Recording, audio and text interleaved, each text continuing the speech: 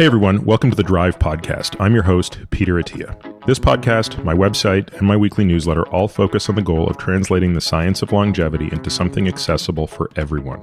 Our goal is to provide the best content in health and wellness, full stop, and we've assembled a great team of analysts to make this happen. If you enjoy this podcast, we've created a membership program that brings you far more in depth content if you want to take your knowledge of this space to the next level. At the end of this episode, I'll explain what those benefits are, or if you want to learn more now, head over to peterattiamd.com forward slash subscribe. Now, without further delay, here's today's episode. My guest this week is Vinay Prasad. Vinay is a practicing hematologist and oncologist and associate professor of medicine at UC San Francisco, where he focuses on not just the treatment of patients, but also health policy, clinical trials, and decision making. He's what some might call a meta researcher. He studies the quality of medical evidence and lately has focused most of his energy on oncology, of course.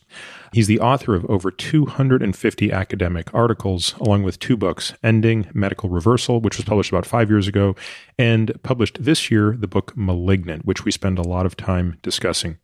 He also hosts the oncology podcast, which is called Plenary Session. I recommend you check it out and he runs a YouTube channel along with his various activities on social media. He's primarily active on Twitter at V Prasad. That's P R A S A D M D M P H, where he writes some really great tutorials related to clinical trials, critical thinking, decision making, etc.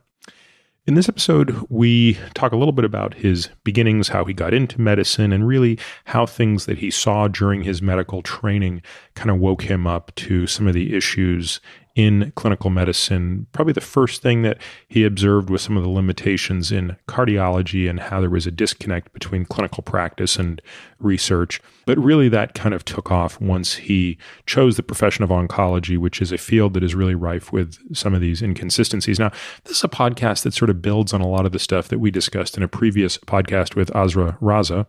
But we go a little bit deeper into some of the structural failures this one goes by quick, and yet somehow at the end of it, I looked and realized we'd been talking for two hours. Uh, I could have spoken with Vinay for another two hours. We close this by doing kind of a deep dive on what he describes as his six hallmarks of cancer policy. And I, I think this is a, a, really great discussion. I was just constantly impressed by the way that Vinay was able to kind of articulate things in ways that I even made the comment at one point if you gave me two hours to explain what you just explained in five minutes, I wouldn't have been able to. So I hope you enjoy this. And without further delay, please enjoy my discussion with Vinay.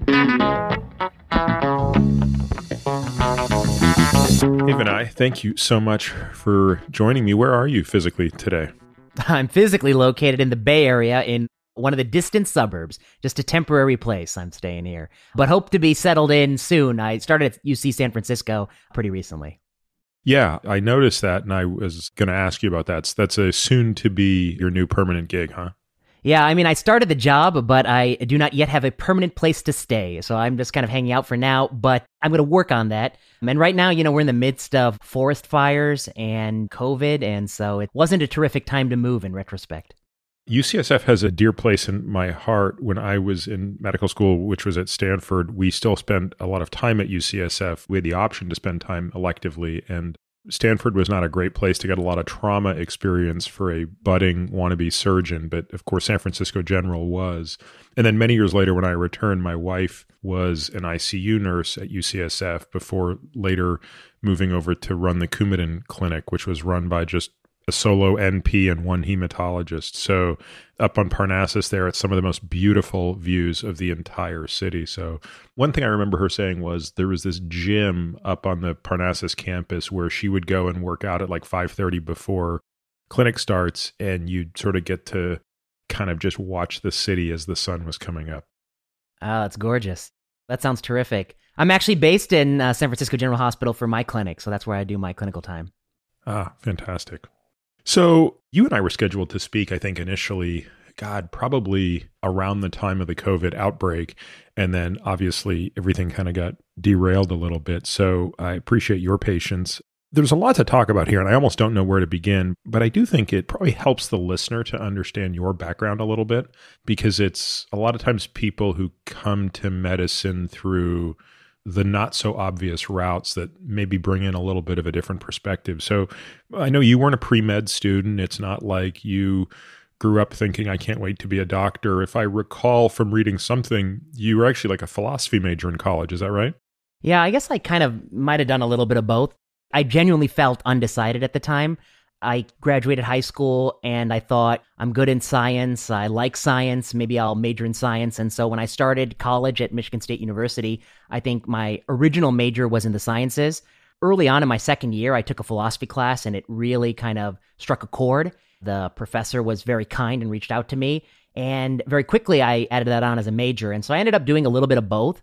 I can't say when exactly I started thinking about medical school, but I remember feeling really sort of uncertain if that was the right path for me. I certainly wasn't somebody who in high school always knew they wanted to be a doctor or anything like that. It came to me sort of on the back end of college, really.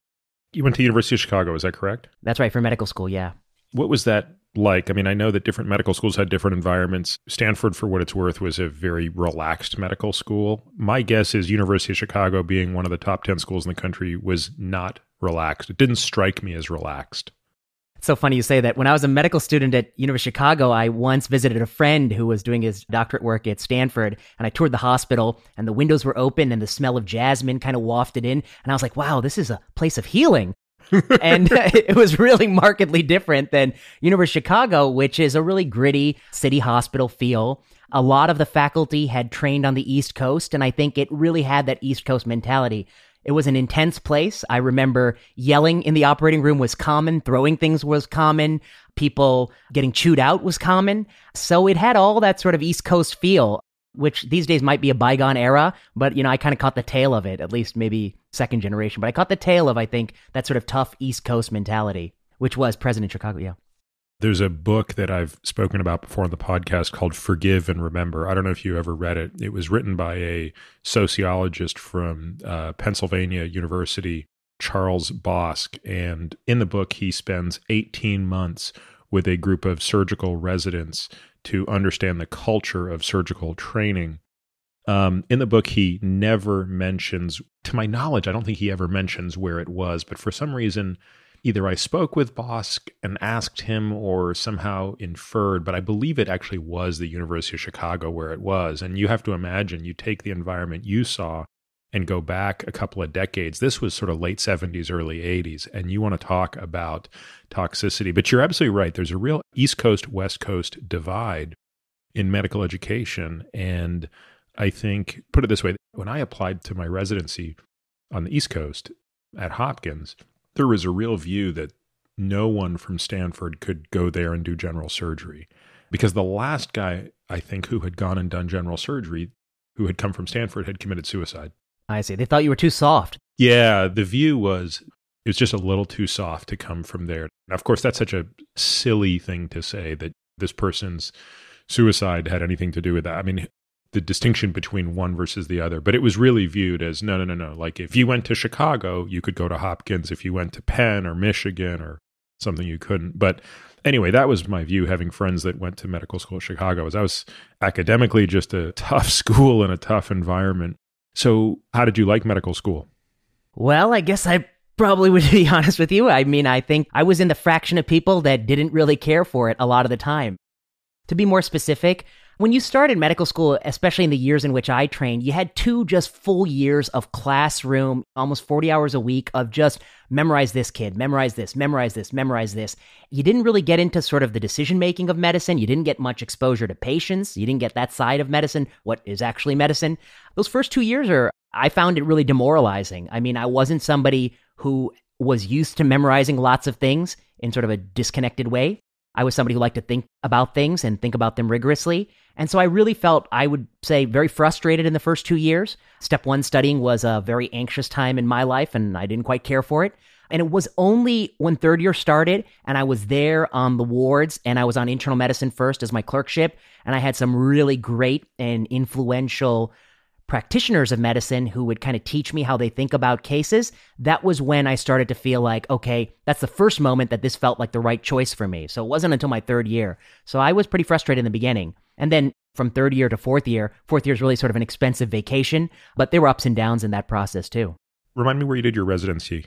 Northwestern University. I stayed in the city. You stayed in Chicago. My folks at that time were living in Northwest Indiana, not too far. And so my undergrad, medical school, residency was all pretty close to where my family was. Okay. So when is it like if we look at the work that you are now basically defining your career by, right? I mean, and we're going to get into this in some detail. Where do you think those seeds were sown? I guess I'd say I was somebody who probably said what I needed to say to get into medical school and get into residency. But the truth is, in my heart, I was probably somebody who was thinking about medical school as a route to private practice and that I saw myself as a practitioner. I didn't know exactly what field or what specialty, but I thought I would primarily be taking care of patients in a private practice setting. I think that was true even when I graduated medical school and even sort of the beginning of the first year of my internship. It only kind of changed for me in the middle of residency.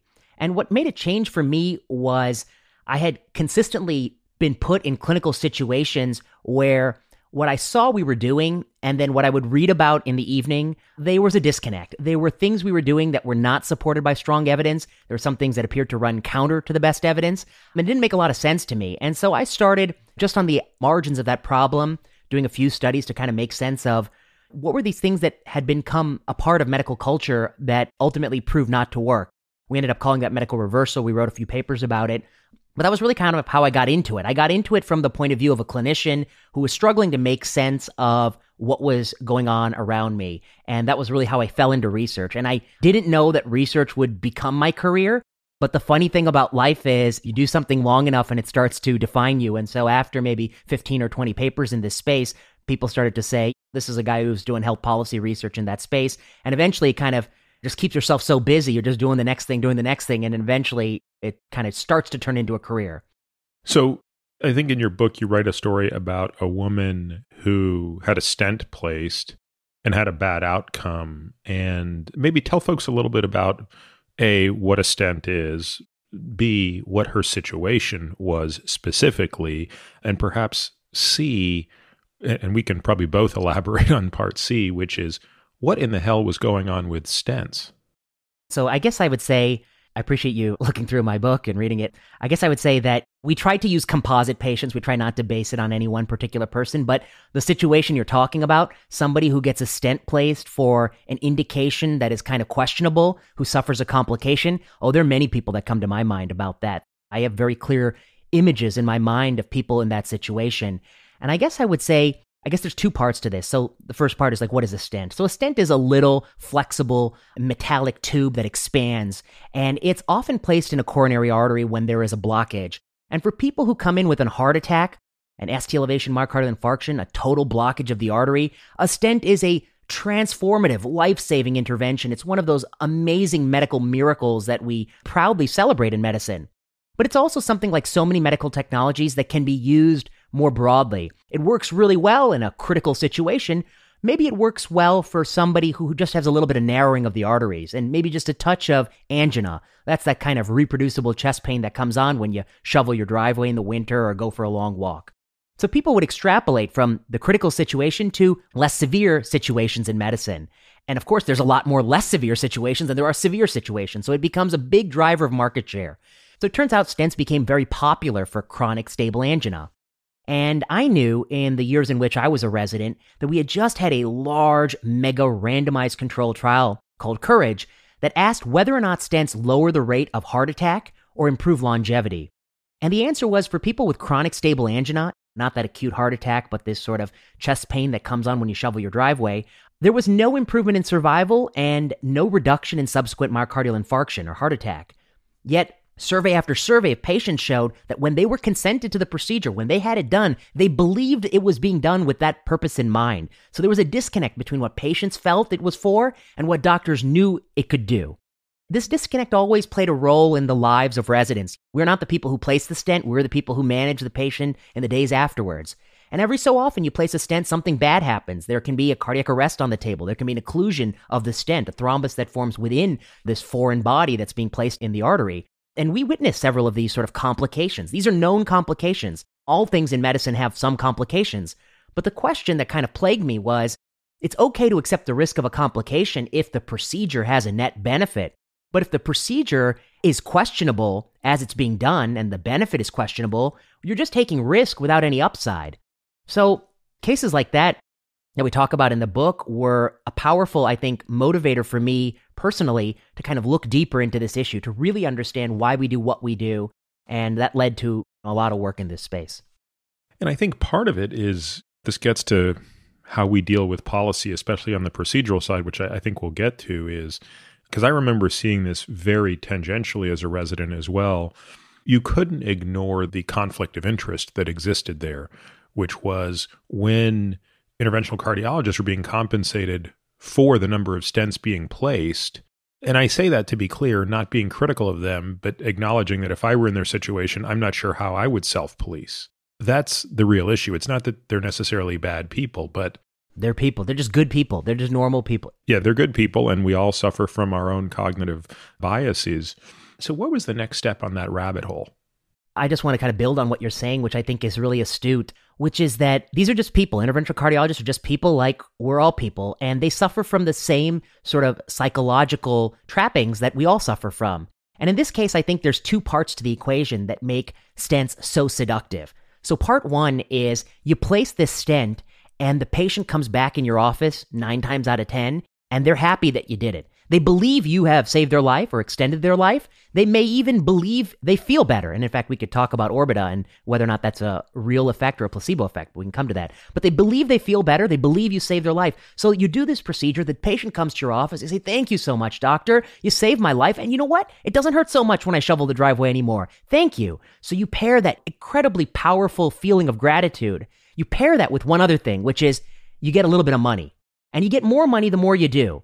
So when you combine that powerful psychological stimulus of gratitude with a little bit of financial remuneration, I think that's the methamphetamine of being a doctor. That's a highly addictive substance that whatever we do in medicine, particularly procedures, because that's what pays, we become addicted to that.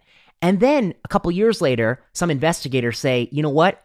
The patient didn't feel better. Actually, when we randomized them to stenting or we made them wear headphones and we told them we put a stent, but we didn't put the stent, we kind of deceived them into thinking they had a stent. They actually both had the same exercise tolerance improvement on a treadmill test. So that's the Orbita study. So when somebody comes at you and they tell you that, you know, actually it's just a placebo effect, it doesn't actually improve symptoms, it's psychologically unacceptable. How can that be? It doesn't fit with my experience and it doesn't fit with the way I've been rewarded. And I think that's in part why many of these medical practices that have evidence, I think, that goes the other way are very difficult to dispel. We have become addicted to doing them.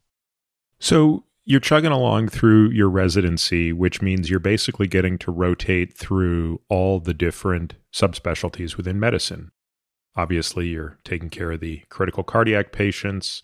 Presumably, at some point, you're taking care of GI patients, oncology patients.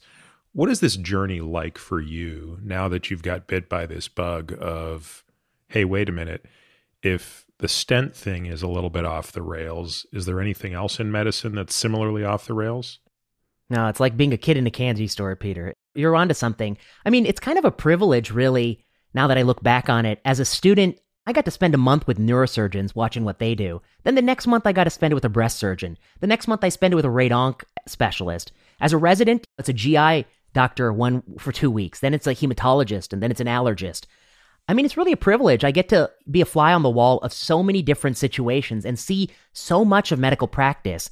And the moment you start to recognize some of the classic, I think, research pitfalls, the evidence pitfalls, you do, as you exactly say, you start to see it everywhere. You start to see it in how decisions are made in one clinic, decisions are made in another clinic. There's a theme that emerges. So, one theme might be for mechanical interventions done to alleviate a subjective symptom, whether it's angina or pain or dyspnea, which is how you catch your breath, or back pain or any sort of discomfort.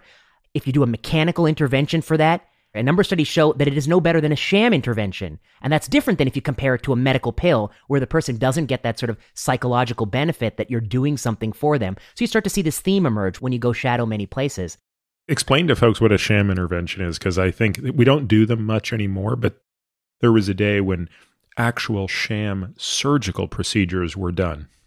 Yeah, well, you might know a little bit more about that surgical history than I do, but I guess I would say when I think about a sham intervention, I say let's just start with arthroscopic knee surgery. So, you know, a lot of people have pain and discomfort and degenerative osteoarthritis of the knee, and they get a orthopedist to go in with a scope and actually debride some of the cartilage, clean up the joint, make it look a little nicer. So hopefully they have less pain and discomfort. And lo and behold, if you have that done, people feel better afterwards than they did before. And if you compare that to physical therapy or maybe taking ibuprofen, it might even work better. But when you compare it against a sham intervention, that's where the orthopod goes in with the scope, they fiddle with it a little bit, but they don't actually do anything inside. And they take out the scope and they tell you they did something. There is no difference in outcomes. They both feel better. And what that shows you, it's not the debridement per se, it's the psychological stimulus of having that done. And this is true for injecting polyacrylamide cement into osteoporotic fractures of the vertebra. It's true for a couple of shoulder procedures. It's true for, I believe, stenting chronic stable angina. That's what the Orbita trial shows. That's they did it or they made the person believe they did it. And this is called a sham intervention. And it's a really useful, I think, method to separate what is the benefit from doing that final step that you think matters versus from all the other things we do in medicine, which is reassuring the patient, telling them I'm going to fix it, telling them that I fixed it, and telling them that they should feel better. What's the added benefit of actually doing the thing? In Orbita, did they actually cannulate the femoral artery? Yeah, they did. Yeah, they cannulated the artery, and I believe they performed a diagnostic angiogram. They have all the pictures of it, and they made the patient wear headphones, and they didn't inform them whether or not they had the stent placed. And then the primary outcome that they're looking at is the modified Bruce protocol exercise treadmill. So they put people on treadmills and see how long they can go. And we knew from prior stenting trials that when you stent someone and you tell them you stent them, they're going for another minute, two minutes. And in Orbita study, they're going for a difference of 16 seconds, and it's not statistically significant and it's not clinically meaningful. So they really do call into question that the benefit of that procedure on this sort of standardized endpoint of subjective symptoms is really sort of what the patient believes it to be. And so that's what a sham study is. And so, to your point, which is you see the theme emerge across many spaces in medicine when you have the privilege of getting to shadow in many spaces. And now, five years into my faculty career, I don't have that privilege too often. I'm in my own bubble. I'm in my own clinic. I'm in oncology and hematology.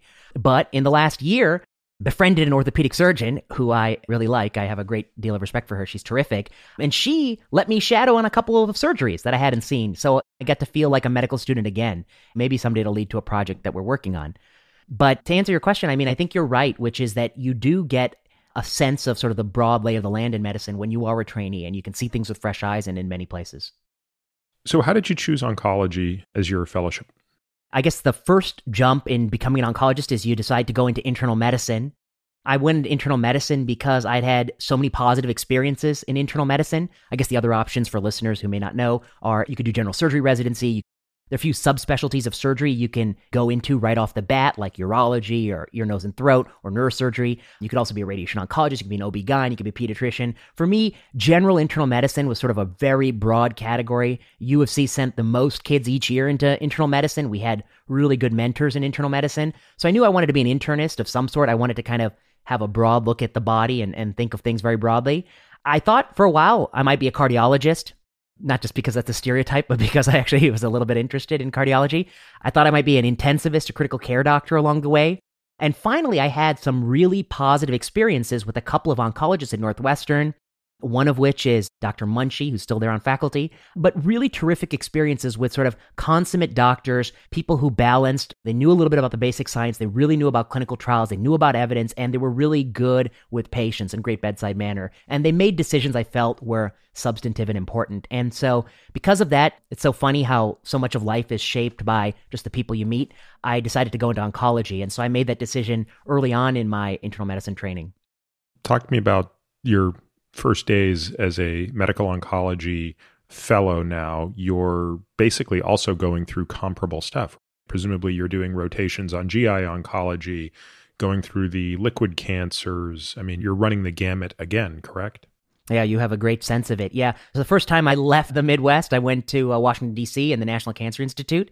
They have a very unique and fascinating program, and you get to see a lot of stuff. And it's just as you say, one month you're with a couple of GI oncologists. You spend a few days at the NCI, a couple days at Georgetown, and maybe you go to Washington Hospital Center, one of the other flagship hospitals in the city. One month, you may go to Hopkins and do leukemia. Another month, you may be at the NCI on their clinics, which are really highly specialized, often rare disease. Every patient on a clinical trial or protocol, just a different experience. And so you get a huge, I think, exposure in oncology. You get exposure to so many different diseases, many of which before that time you know very little of.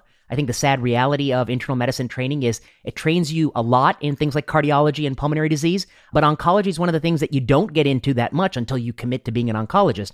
And so the learning curve is steep. You got to learn a lot of drugs. There are more new drugs every day, which I think we're going to talk about. And you got to learn a lot of new diseases and a lot of genetics and a lot of things you didn't know before. And so the learning curve is steep. But to be honest, I probably think that's one of my favorite years of training, my first year as an oncology fellow. I had a really great cohort of people training with. We always went for the drink on Friday evenings to have some camaraderie. And we had a great exposure to faculty, and we were learning 20 new things every day. I mean, I thought it was really sort of a terrific and transformational year for me. It's also a special place. I was at NCI in medical school and then for two years after and lived just outside of Bethesda in Silver Spring. And I still think of it as some of the fondest memories, which is a very special place. I know we're going to come back and talk about NIH. And I think the NIH in particular, how it funds research is, I certainly have some issues with it, and maybe we can get into that. But there's really, it's not hyperbolic to say there's no place like it on earth. And I still remember that first day I stepped foot on that campus as a third year medical student, just thinking, how can this place exist? It is so marvelous.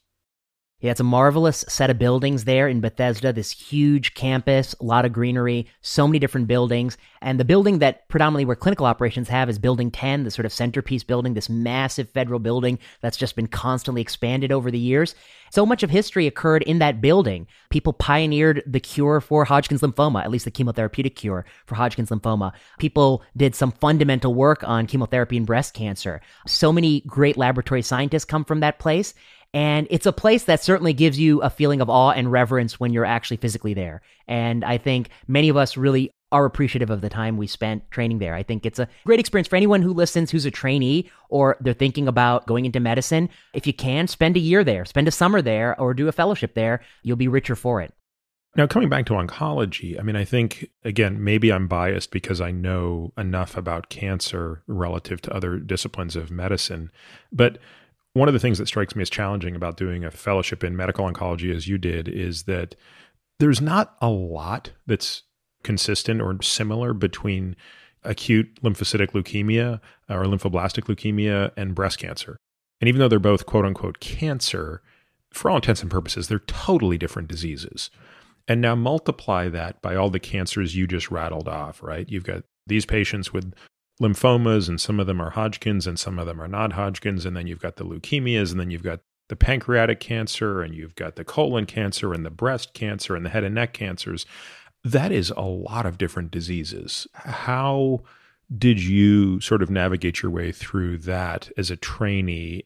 And then how do you decide as you're going through that, what does this mean for me in my career? I mean, I agree with your observation that cancer is a category term. It's not a single monolith, it's so many things.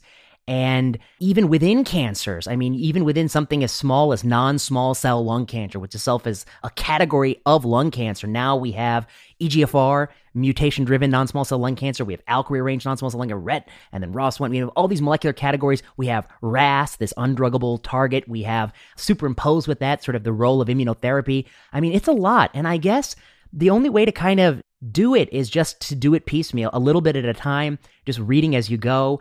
Every night you read an article or two, you read up to date, you start there, eventually you start to dig into the references. I don't pretend to know everything about every cancer, even to this date. I don't think, know, I once heard somebody say um, 1963 was the last time a scientist died who knew everything. I mean, it's just impossible to know it all. You can't know all the basic science, you can't know all the clinical medicine. I pick a certain spot, and I think that spot is the spot of a clinician. I mean, my primary sort of interest, and still to this day, what I do with about half my time hour wise is uh, see patients and think about patient care. So I start with that vantage and then I go outward from there. And so, what trials do I need to know? What clinical evidence do I need to know? What heuristics do I need to know to guide patient care? How can I work on my bedside manner? And then beyond that, what policy determines these things and what basic science is relevant to that? But yeah, I don't know everything about cancer basic science. I don't pretend to. That's beyond what I can know. That's what most people do in oncology. They start with the patient, they work their way outward, and they try to learn as much as possible. And you're always going to be learning new things, even four, five, six years into practice, as I am now. You've brought up bedside manner indirectly twice, so I want to touch on that. It obviously means a lot to you. You mentioned it in the first setting with respect to a mentor you had. And again, you referenced it now in a way that I think is quite interesting, which is it's an area of something you would think about improving upon being better. And do you get the sense a lot of doctors feel that way? And how do you specifically think about improving that? Because anybody who's done what you do understands two things that are simultaneously true yet cut at odds. The first is the practice of medicine can be exhausting, and at times it can sort of suck the life out of the practitioner, be it the doctor, the nurse, the therapist, etc. But the flip side of that is, again, you referenced this earlier, it's an unmistakable privilege, and that anybody gets to be that intimate with another human being at their most vulnerable time that's something that can't really be forgotten. And therein lies this tension, at least for me, around what bedside manner means. Yeah, I mean, I guess I can't profess to be the expert in bedside manner, but it is something that I take seriously and I'm constantly trying to do better. I'll start by saying one thing. I think there is a misconception, I think, among many people outside of oncology that oncology is often doom and gloom in tough situations. And I guess I want to say that that is true. There is a fair bit of end of life in oncology. We do have to have those hard conversations, but it's not exclusively true. That's not all we do. We also have a lot of people who are concerned about things that, frankly, are not going to be the thing that shortens their life. It's not going to be the end of the world. We also have many patients in whom we cure and we have to follow for long term side effects. So it's really a range of medical experiences, some of which I think is that tough stuff that people focus on. I'll just tell you one anecdote, sort of what put it all in perspective for me. When I was at the NCI, I worked with a really senior oncologist who had been practicing for 30 years. And we had seen a patient on several visits, and I followed this patient for many months with this senior oncologist. And the senior oncologist had followed this patient for, I think, over a decade. We finally reached an impasse. We reached a situation where there were really no further therapeutic options. The tumors were growing uncontrolled. It was clearly going to take this man's life, and we had sort of radiographic and laboratory evidence that that was the case we were going to go into that room, and this senior oncologist was going to have to tell this gentleman, uh, somebody he had known for over maybe nearly a decade at that point, that there was nothing more he could do for him and that he was going to pass away. To me, as a trainee, I thought that I have no idea how this guy's going to do this because this is a heartbreaking conversation. My heart is broken, and I've only known this guy for a few weeks, and I'm not in his shoes. And so I go into the room, and he does what would be the stuff of legend. I mean, he's compassionate, he's caring, he's hearing the patient, he's seeing the patient, he's keeping a little bit of distance, he's giving the information he needs to give, but he's also giving sort of the emotional support he needs to give as well. It's very hard for me to even describe how he did it. It felt like magic to me as a trainee.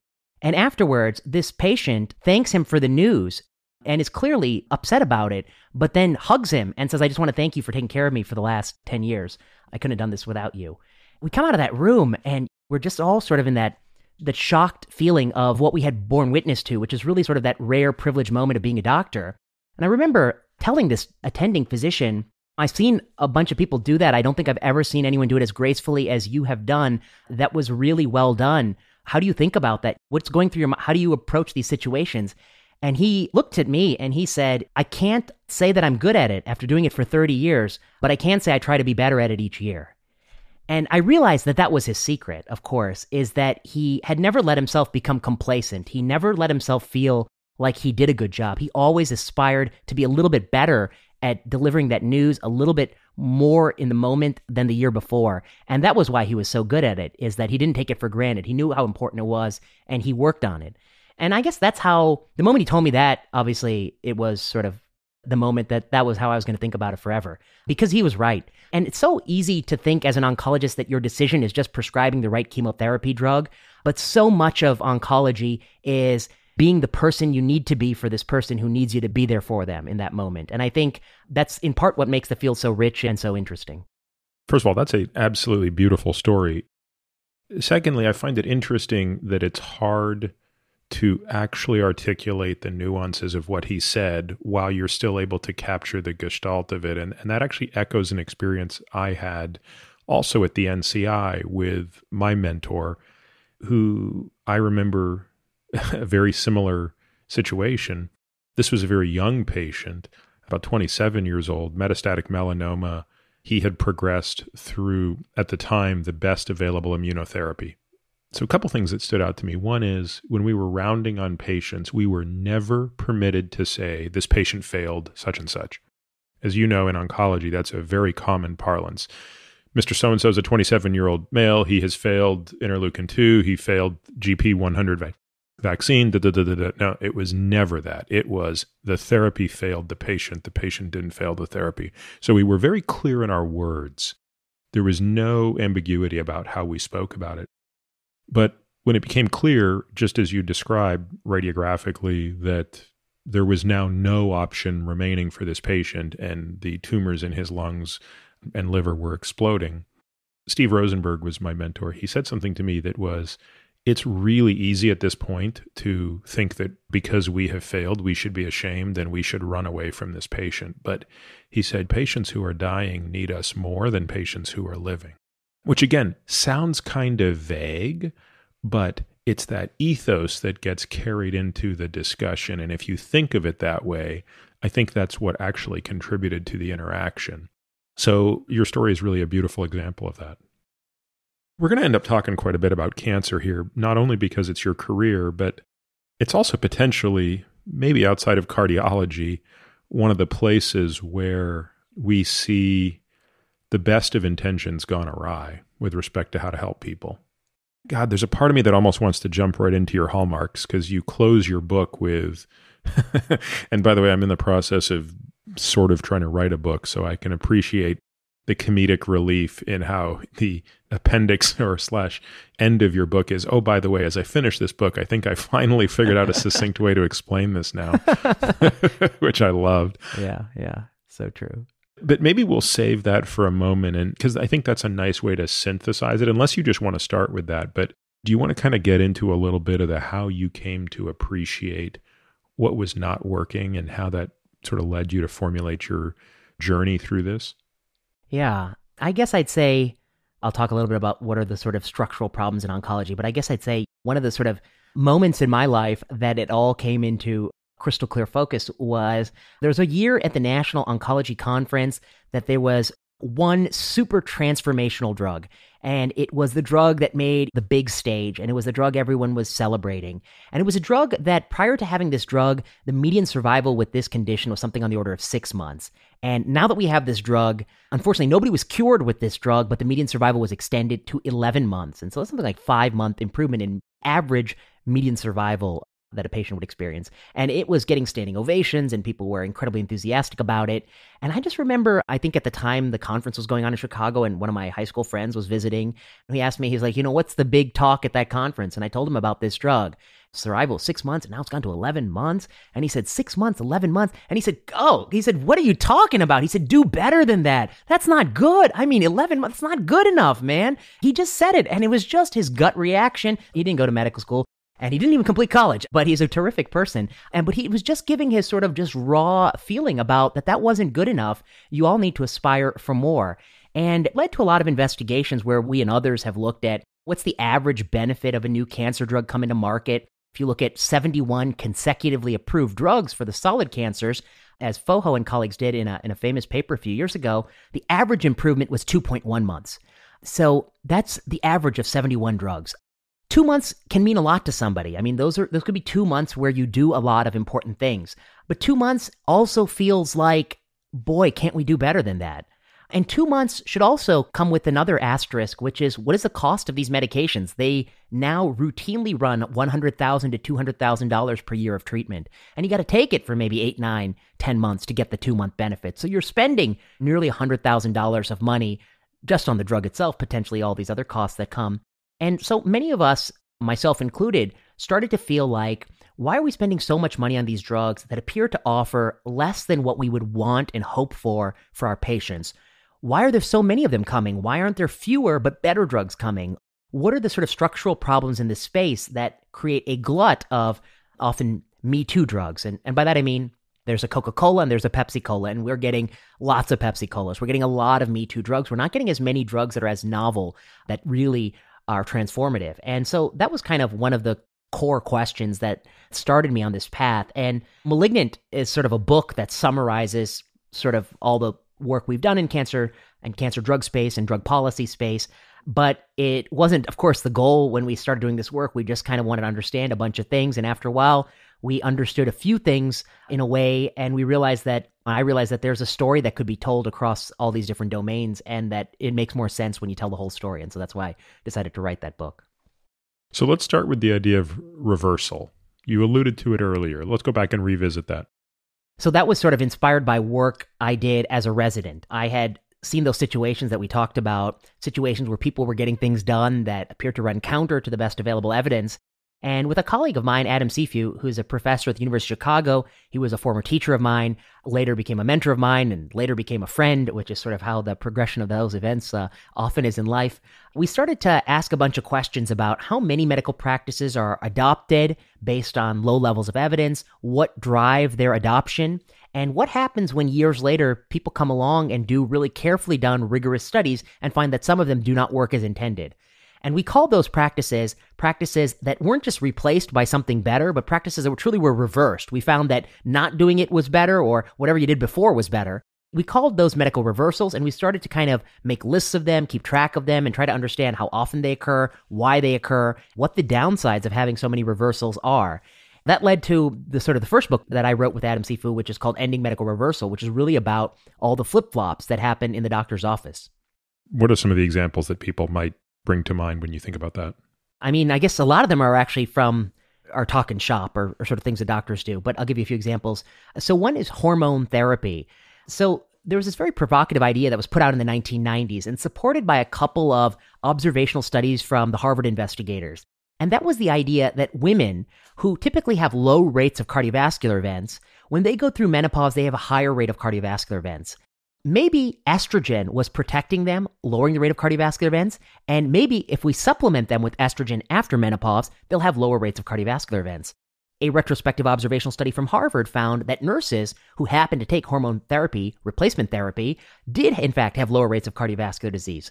And this led to sort of widespread promotion. There's a company called Wyeth that was really, I think, instrumental in driving prescriptions of hormone replacement therapy, there was a lot of basic science evidence that corroborated that estrogen has sort of favorable effects on vascular endothelium, et cetera, et cetera. It quickly became sort of a widely used common medication, accruing dollar amounts in the billions of dollars.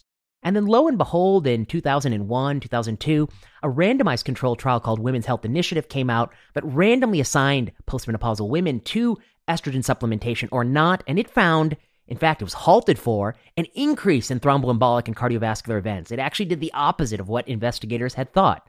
That was sort of a seminal moment, I think, for many people that maybe things that are widely done don't work as intended. I'll give you just another example. After somebody has a heart attack, if you put them on an EKG machine and watch it, you'll see there are a bunch of aberrant beats, premature ventricular contractions, PVCs a number of really well done studies have shown that the more PVCs a patient had, the more likely they are to have sudden cardiac death. And there was a reason why that might happen that these aberrant electrical activity of the heart could actually precipitate a reentrant circuit and precipitate actually cardiac arrest. A number of drugs were made that could suppress PVCs.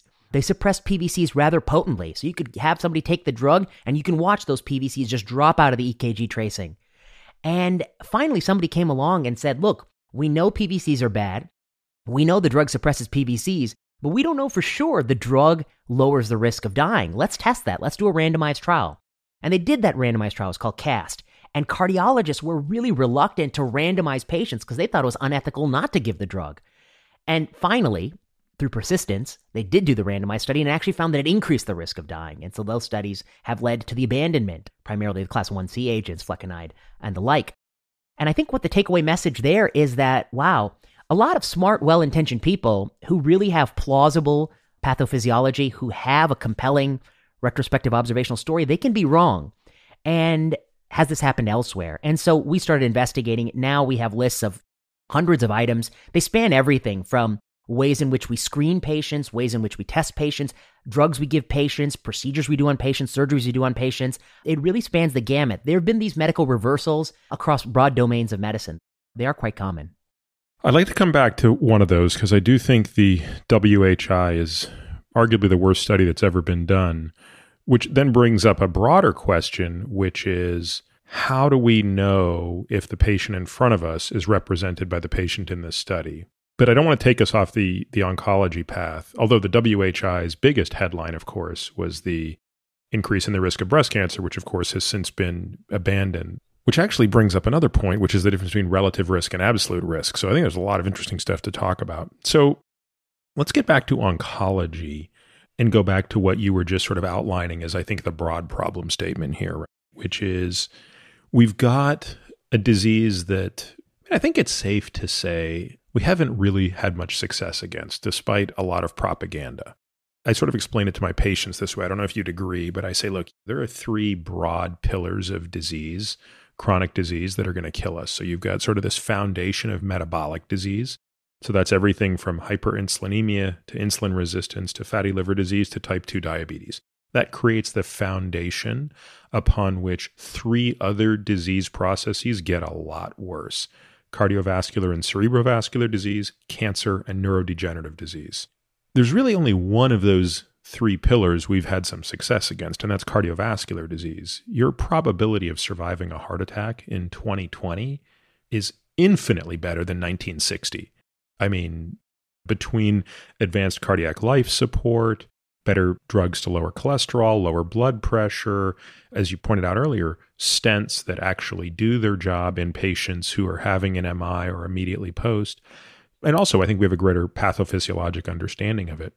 But if you have metastatic breast cancer in 2020 versus 1970 or 1960, if you have Alzheimer's disease in 2020 versus 1970 or 1960, you're not a hell of a lot better off.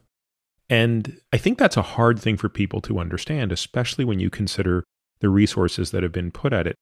Have you got a ballpark of how much has been invested in cancer research in the last 50 years, directionally since the war on cancer was declared? The total will easily be in the hundreds of billions of dollars. So I guess I would say, I mean, I think your assessment, although people may not like it, I think it is not inaccurate. It is accurate assessment is that we've poured in hundreds of billions of dollars.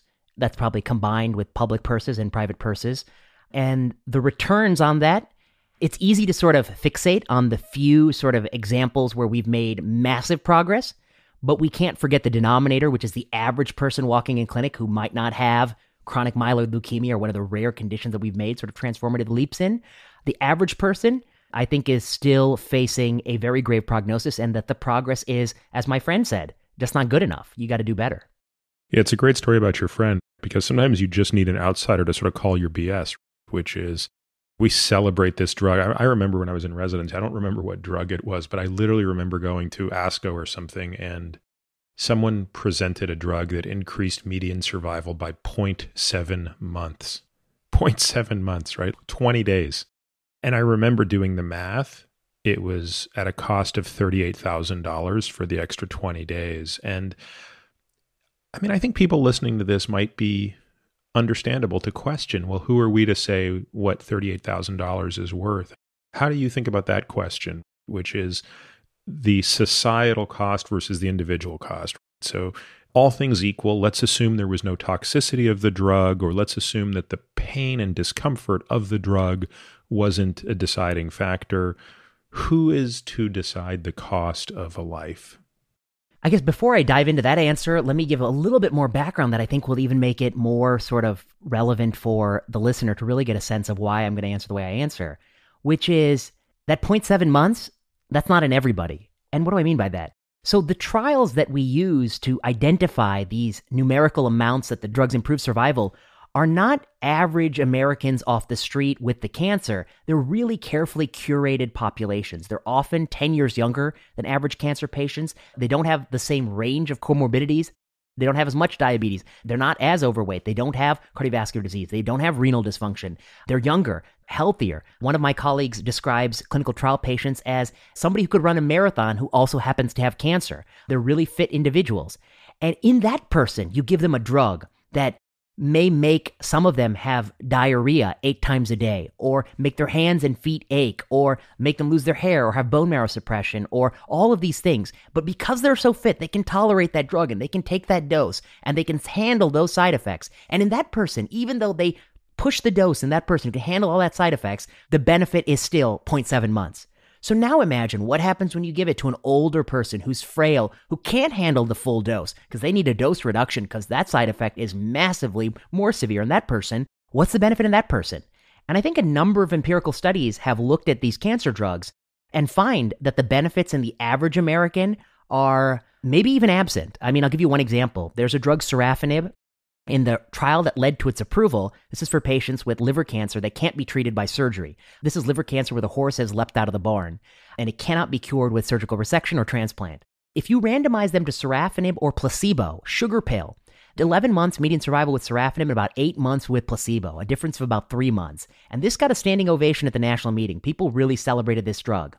A couple of researchers looked at Medicare datasets, SEER Medicare, which is Americans over the age of 65. And they found people who took sorafenib for this disease. And they found the median survival of somebody who took sorafenib in Medicare was around four months. So, in other words, in the real world, somebody taking the drug that improves survival lives 50% as long as the person taking sugar pill in the trial, which just shows you that the Grand Canyon of difference between real world patients and clinical trial patients. And in the real world, they compared those people taking sorafenib who live four months to similar people who didn't take sorafenib, and they also live four months. So I think that some of the benefits of these drugs do evaporate when you give them in broad populations. First of all, I'm really glad you brought that up. I interviewed Azra Raza a little while ago, and she made the same point. I just don't think that can be overstated. So I, I want to make sure that people really understand what you're getting at. When we look at nameplate clinical trials, they aren't just best case scenario by a little bit.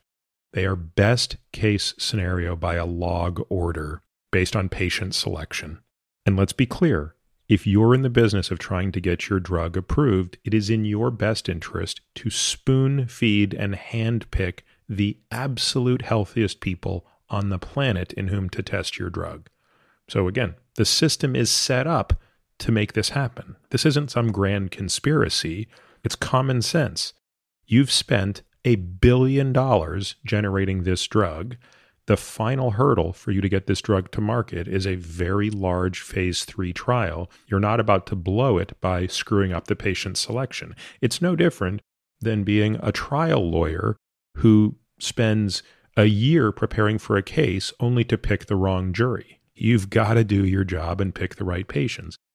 Your point is hey, and Azra made the same point look, the likelihood that the person sitting in your clinic in front of you is half as healthy as the patient in that clinical trial is very low.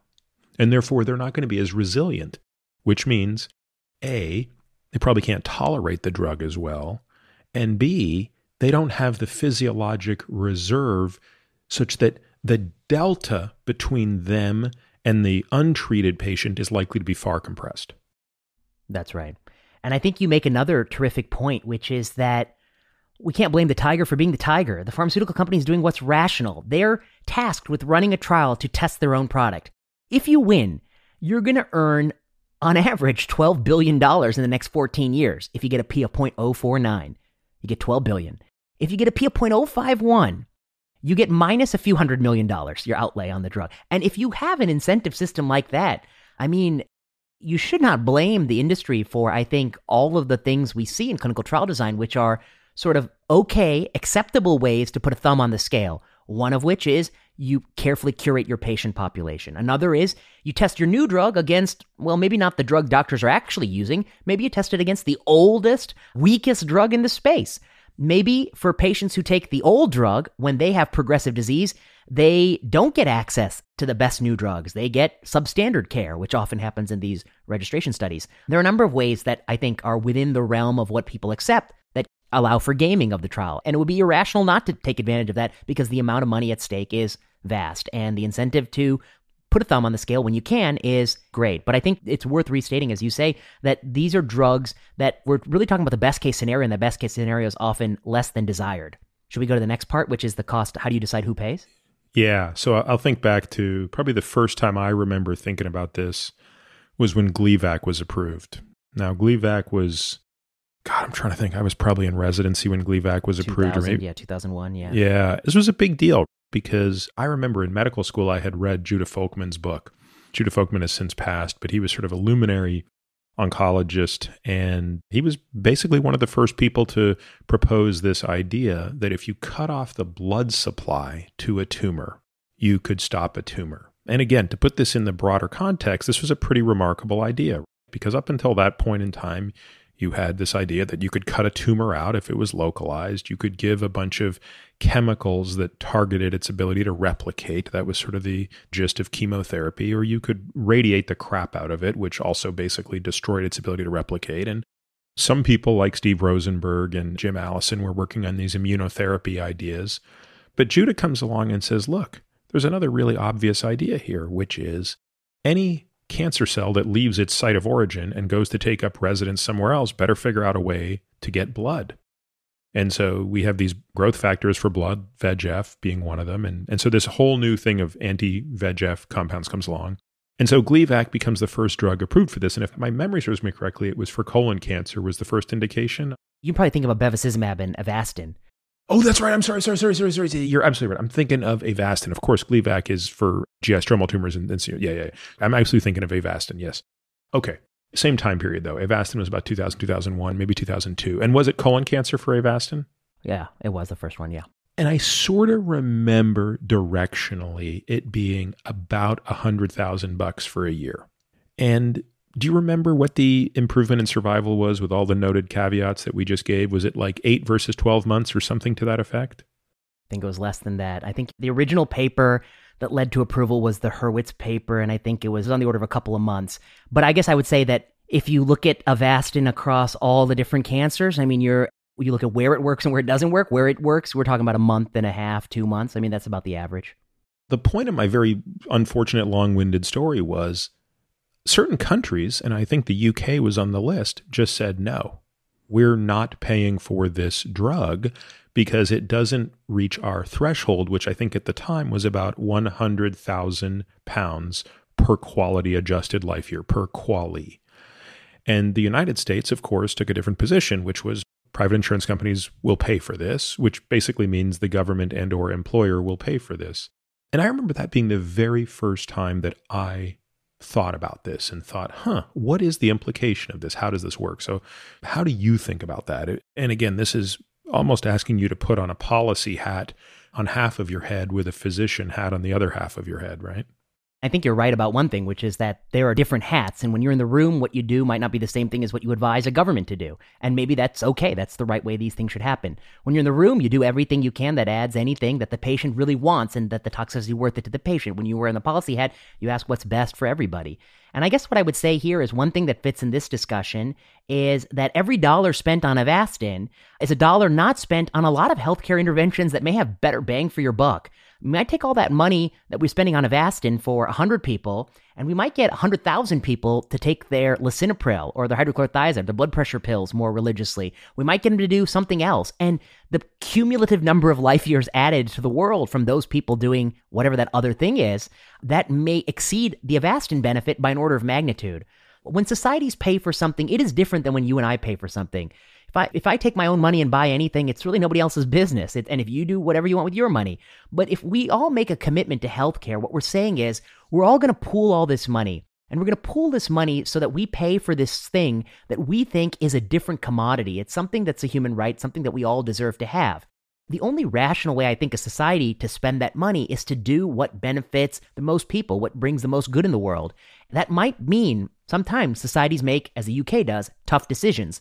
They decide Instead of 20 people getting access to some new cancer drug that doesn't cure the dr- disease but may extend survival by a couple months, let's take all that money and let's give pregnant women access to X, Y, or Z that might improve the longevity of their children and another generation of kids in the UK. And so I think that all nations struggle with this question, which is how do we ration limited resources?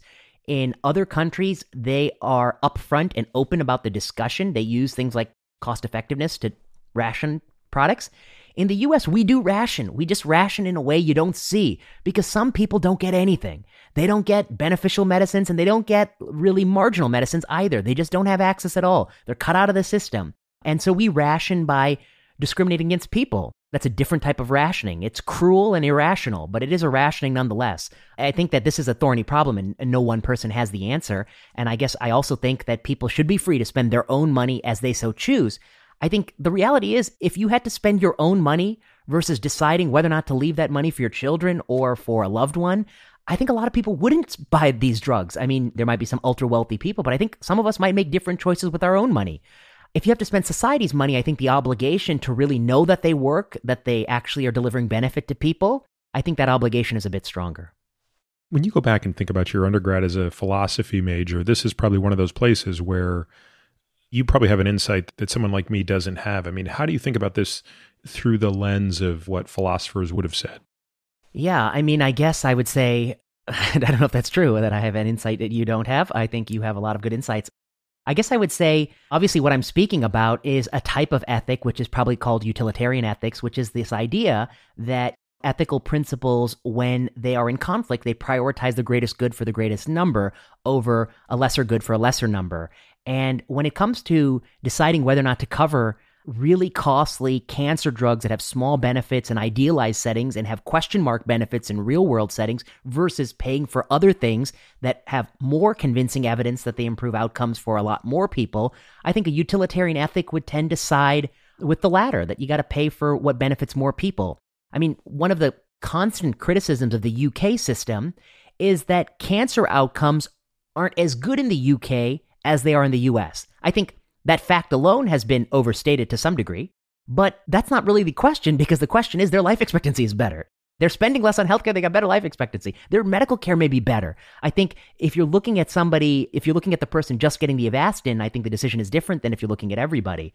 There are different conceptions of ethics, and I think some people might put a value on caring for people at the end of life irrespective of, I think, societal implications for others. And I guess I don't, uh, sort of a deontologic perspective, and I guess I don't discount that at all. I mean, I think when people are question mark on Avastin for colon cancer, we're not saying don't treat a person. There's still lots of treatments you would give. You give full, you give the same treatment except leave out the Avastin, and the difference is probably very slight.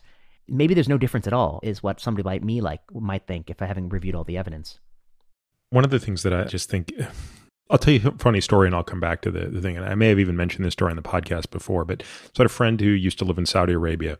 He's an American, lived in DC. So during the summer, he would always come back to DC. So he would sort of spend June to September in DC before going back to Saudi Arabia.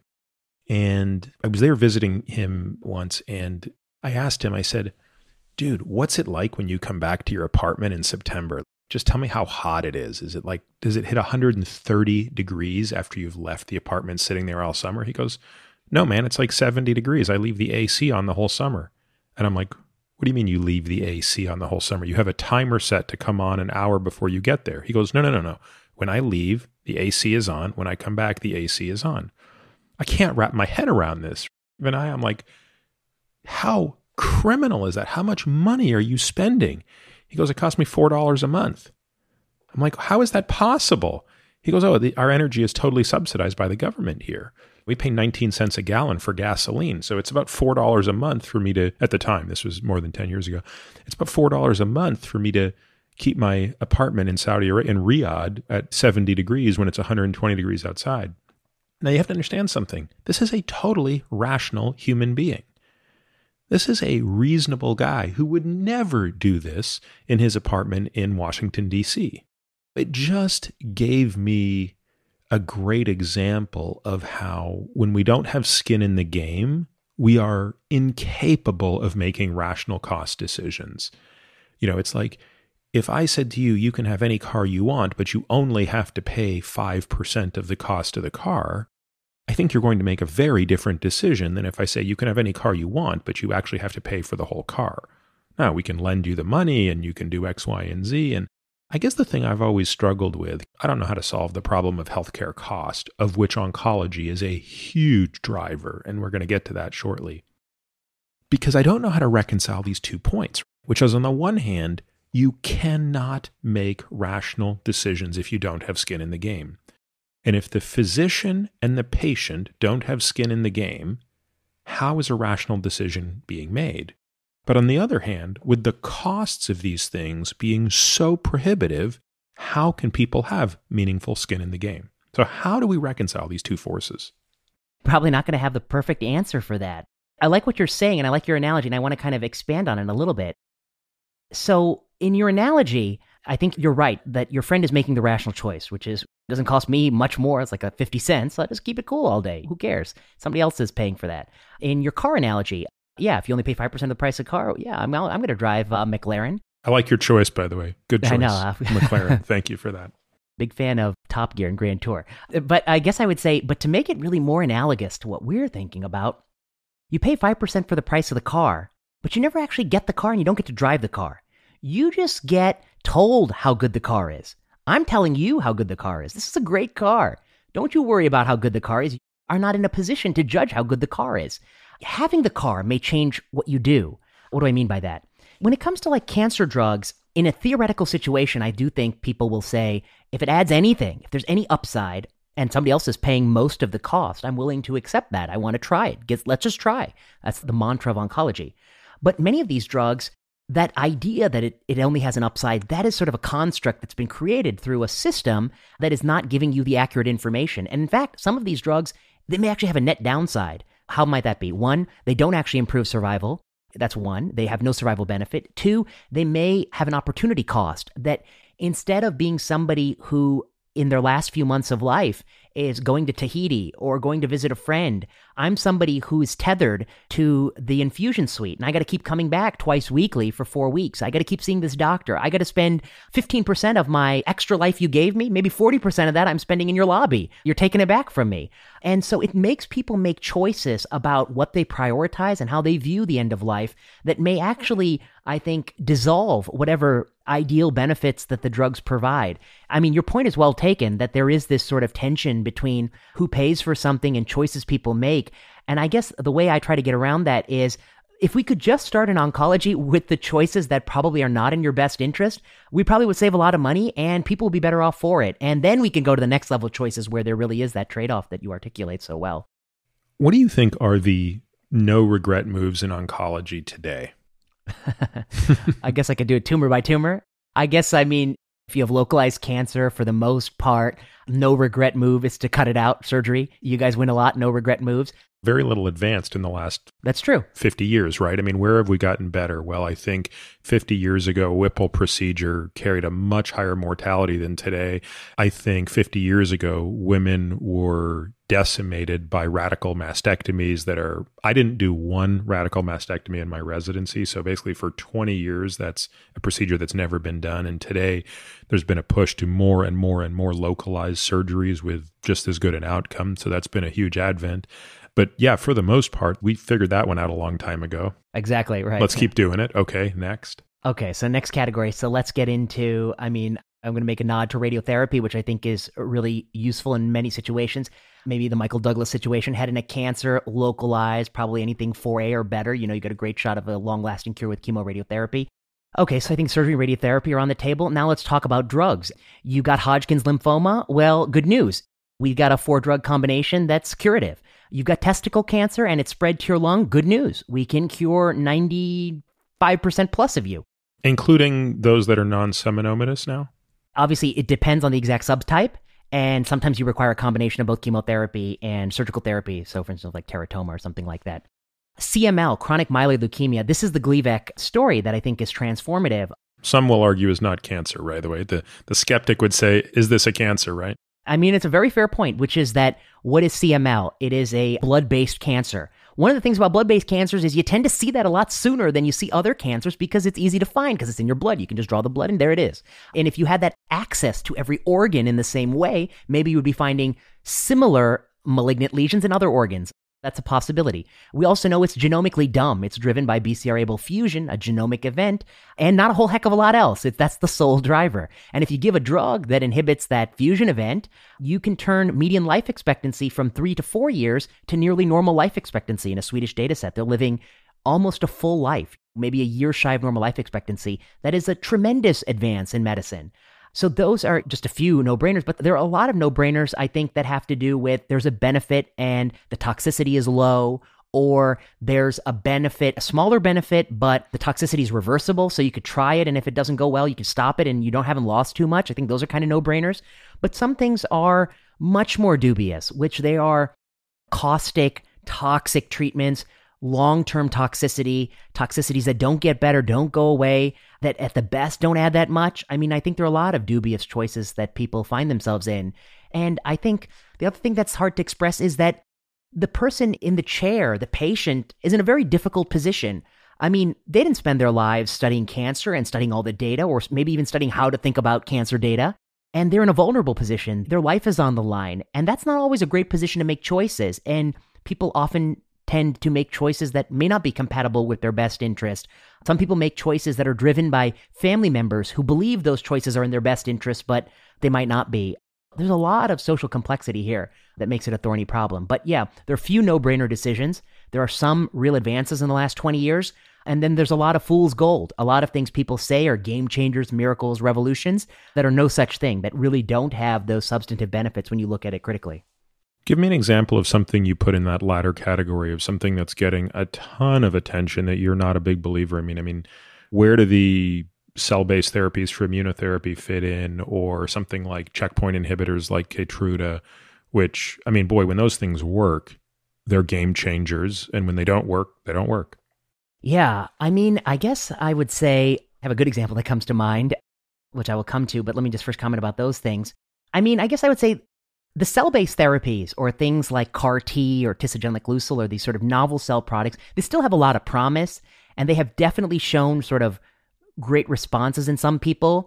But the real question will be are they, are they so beneficial in every condition? We're trying some of those cell based therapies in multiple myeloma, and a lot of people are having remissions, but those remissions are fleeting, and it looks like everyone is having relapse. That's different than what we found with lymphoma and what we found with pediatric acute lymphoblastic leukemia, or ALL, which you talked about earlier. With Keytruda, we have a number of randomized controlled trials that show clear survival benefits in Keytruda in specific settings.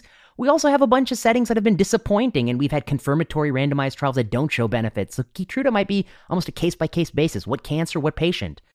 But let me give you a good example of a drug that I think is just a classic example of really a questionable decision. I'll talk about it in one cancer, pancreas cancer. So some people with pancreas cancer have a germline mutation in the BRCA gene or BRCA, which is a gene that confers susceptibility to cancers, one of which is pancreas, but often breast cancers where you most think about it.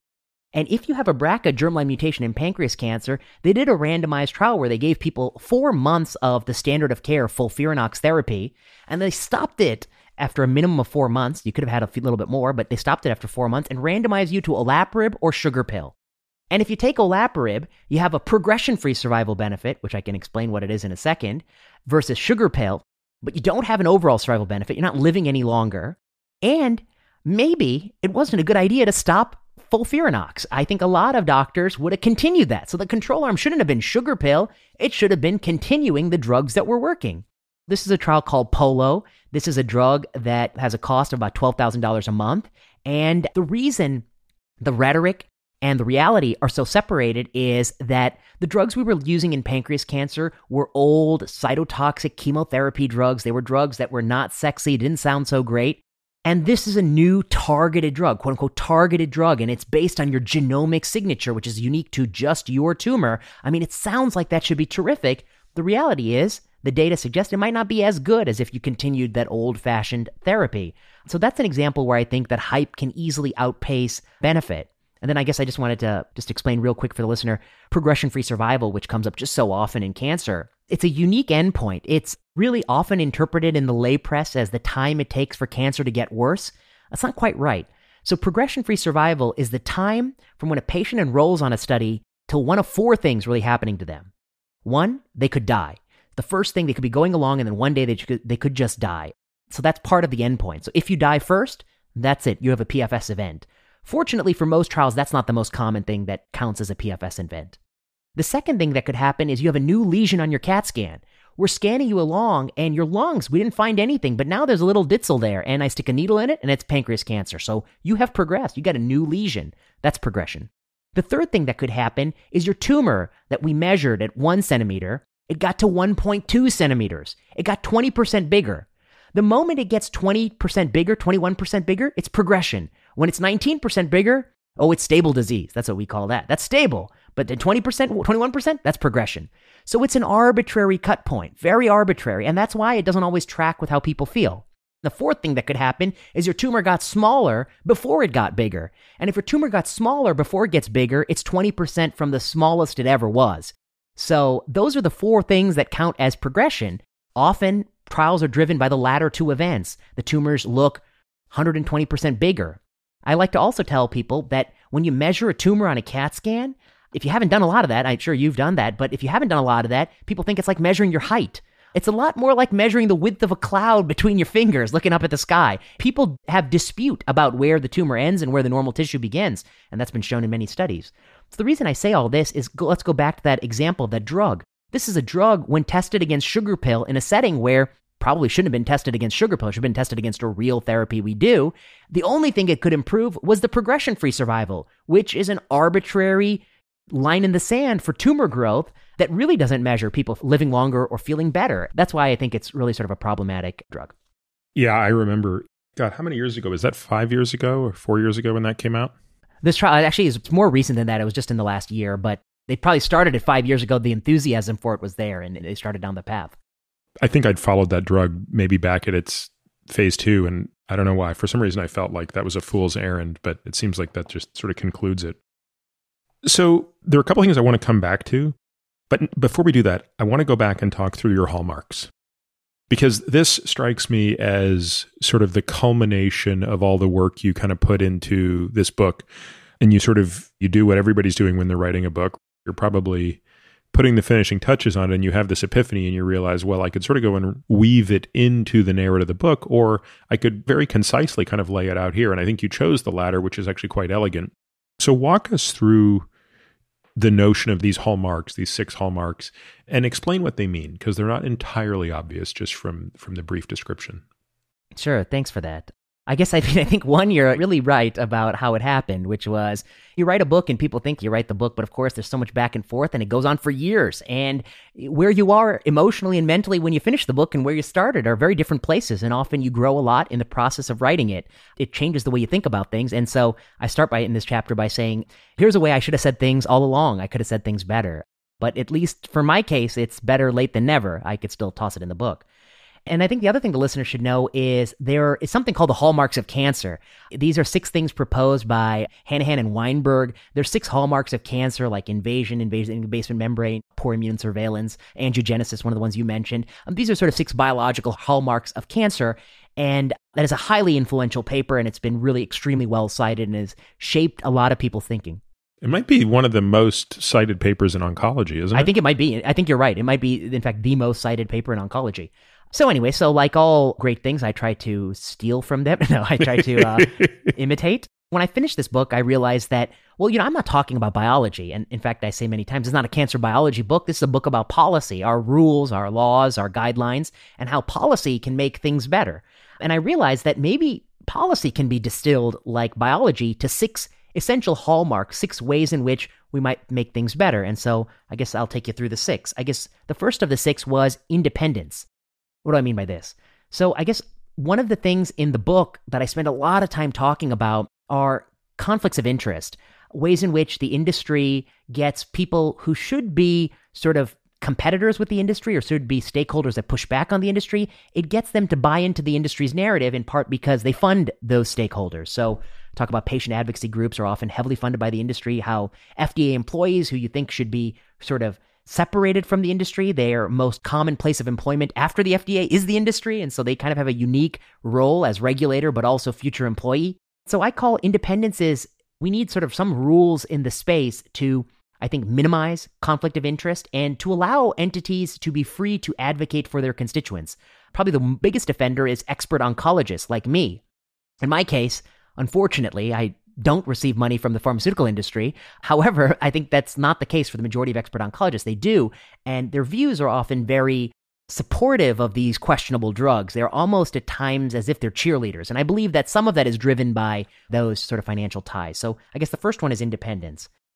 How does one do anything about that? Maybe we'll probe each one a little bit Okay, as opposed to just bit, going through them. So, completely get your point there. Look, I mean, when I was in residency, drug reps brought us lunches, Oh, yeah. right? And gave us pens. like, you know, something as silly as that. But that's a hook.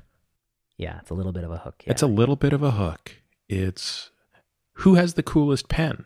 Because these weren't just generic pens. These were like really cool pens. Like you wanted to be there at that lunch and get that really cool pen. It was like, I remember some of them to this day, like a pen that looked like a needle syringe. And when you clicked it, the color changed and all these other cool things. And and look, all they wanted was five minutes of your time. And I remember by the end of residency, some of those, they were starting to take us, the senior residents, out for dinners. And I got to be honest with you, I don't recall giving it any thought. Like, I don't recall actually feeling like I was doing something wrong. I remember being kind of annoyed that I had to listen to them talk because at that point in my life, I feel like the only thing that mattered was getting a meal. And I was sort of like, hey, why don't you just shut up and let me eat? Let us enjoy, yeah. But I honestly don't think it crossed my mind, Vinay, that this is the beginning of a very slippery slope. They're not buying me lunch, giving me pens, and eventually buying me dinner because they think I'm a nice guy.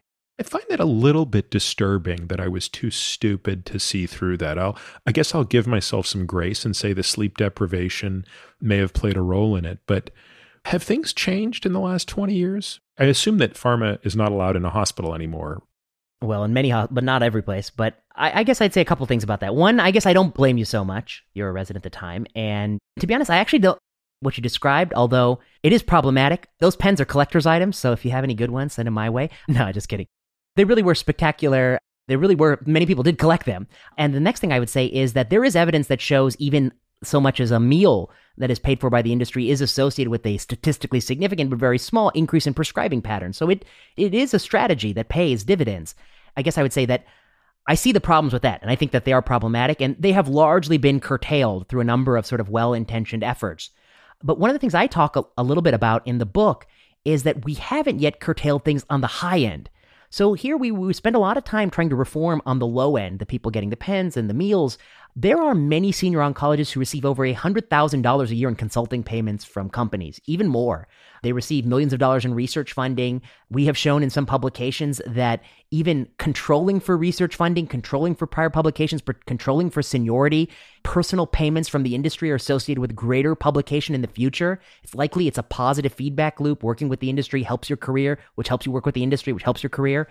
The people in those roles, the most conflicted people, people who are earning as much from the industry in their side hustle as the average household income in America, those people, they write the guidelines. And the guidelines, by law in the US, make Medicare pay for drugs for off label purposes. So the people who write the guideline that mandates Medicare must pay for this drug, no price negotiation, that person is being paid by the industry, even for the exact same drug. And so those relationships, I think, are an order of magnitude more concerning than the resident, hungry resident taking a meal. In fact, I try not to talk too much about those sort of little things, but I think you're right that there is a slippery slope, and part of it is to get you accustomed to the fact that this is no big deal. So I think you're absolutely right. I guess I would say the way I would sort of structure the solution is the way I sort of structure lots of solutions, which is I don't want to be the person setting rules and hard rules with punishments because I don't think that that's really what gets people to change behavior. I want to create a different set of incentives that get people to maybe do something differently. And so some incentives I think are we still need guidelines to help decide what to cover off label.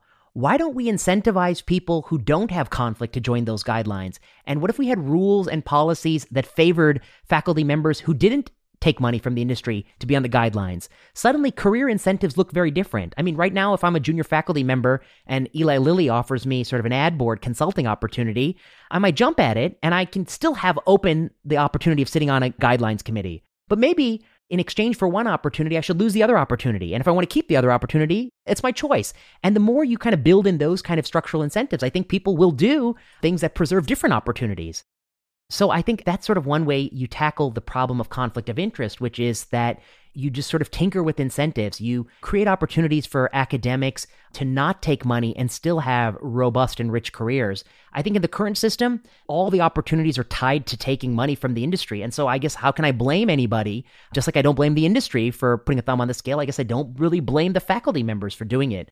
Is there evidence that physicians are, for the most part, honestly disclosing these things? I mean, I know there was a very famous case at Memorial Sloan Kettering where there was a huge blowup over this. So, if a system like the one you described were in place, do we believe that we could believe people? Yeah, it's a great point. I mean, I guess I would say that most of the available evidence suggests that disclosure is incomplete and often inaccurate. Some of the available evidence suggests that people don't even believe that they have the conflict. And so some of it is an honest error that they don't even see that they're being conflicted. They may have forgotten. You cite a really sort of high profile example of Jose Baselga, who had found to omit conflicts in dozens and dozens of articles and conflicts that were really pertinent to what he was talking about. And he ultimately was pushed out of his role at Memorial Sloan Kettering, which is a form of punishment. But very shortly, he became vice president of AstraZeneca, a job that probably pays him several times as much money as he was making earlier.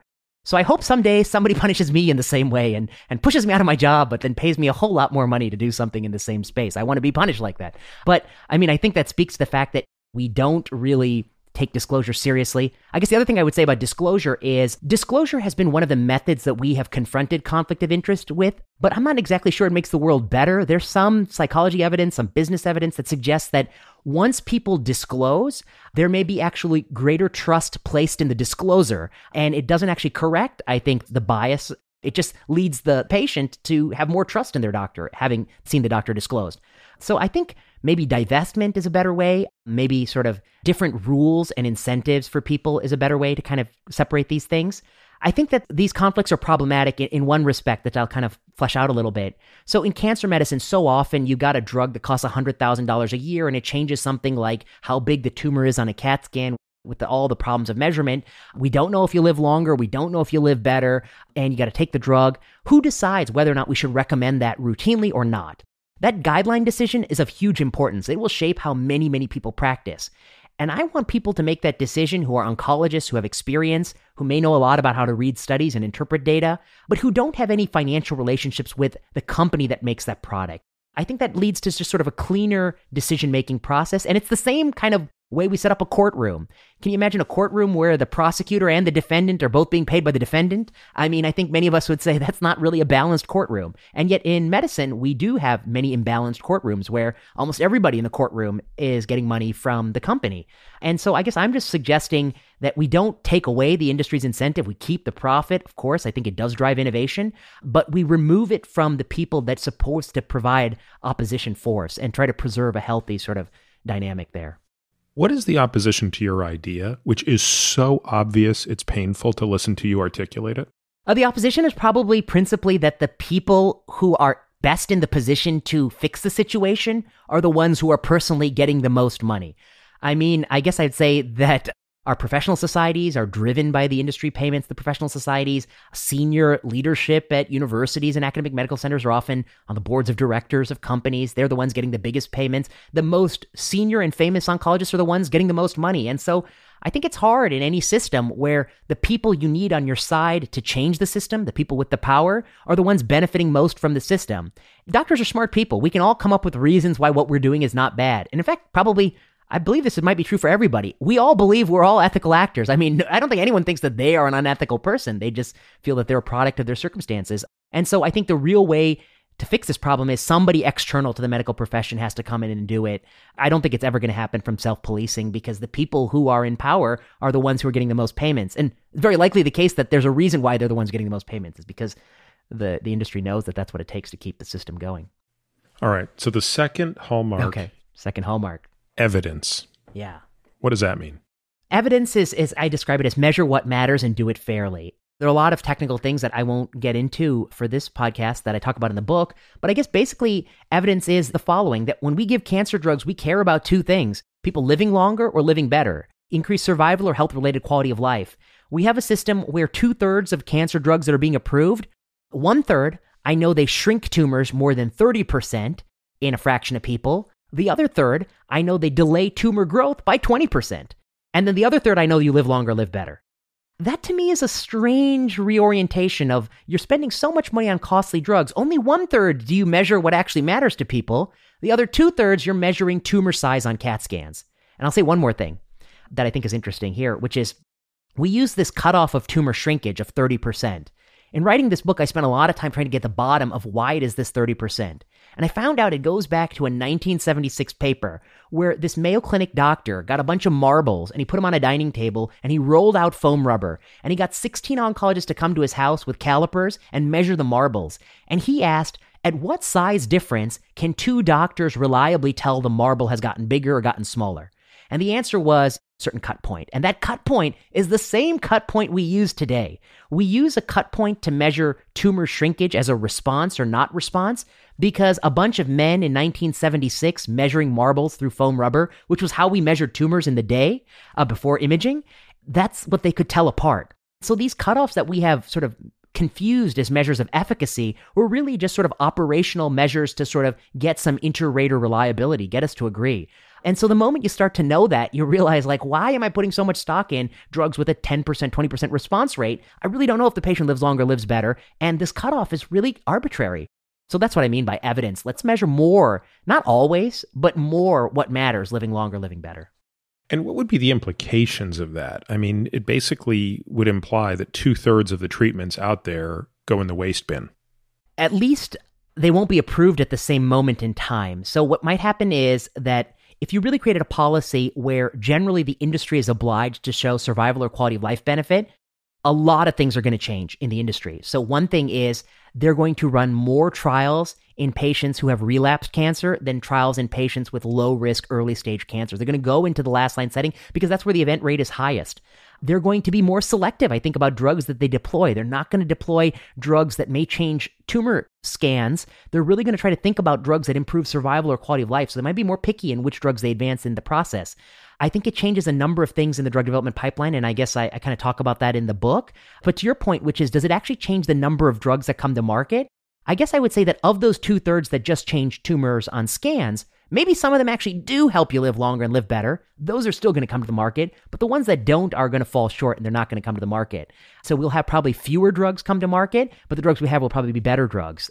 My friend who posed that dilemma to me many years ago, he'll probably be more satisfied. All right, what's the third hallmark?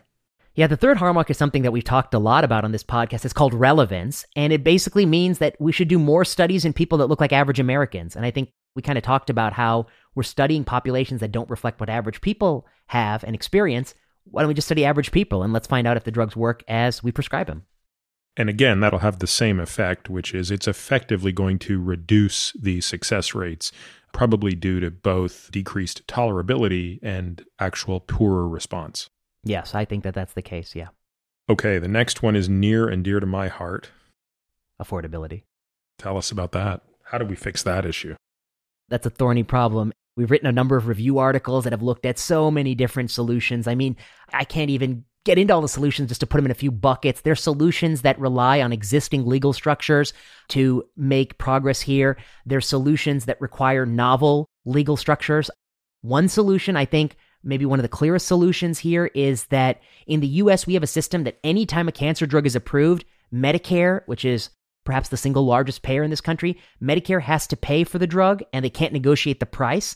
Not only that, they have to pay for any drug recommended at a level 2A or higher by a number of guidelines, like this National Comprehensive Cancer Network, which is got a lot of people writing the guidelines who are funded by the industry. So I think one way we could kind of make some headway in the affordability is to give Medicare the ability to decline to pay for drugs.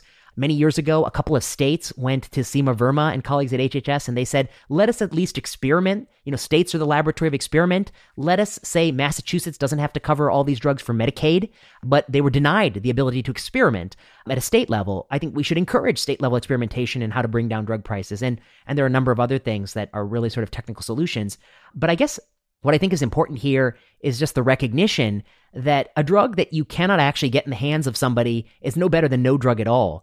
And we have affordability crisis in this country, but globally, we have a huge affordability crisis. These drugs for the most part, are out of reach of billions and billions of people in this world.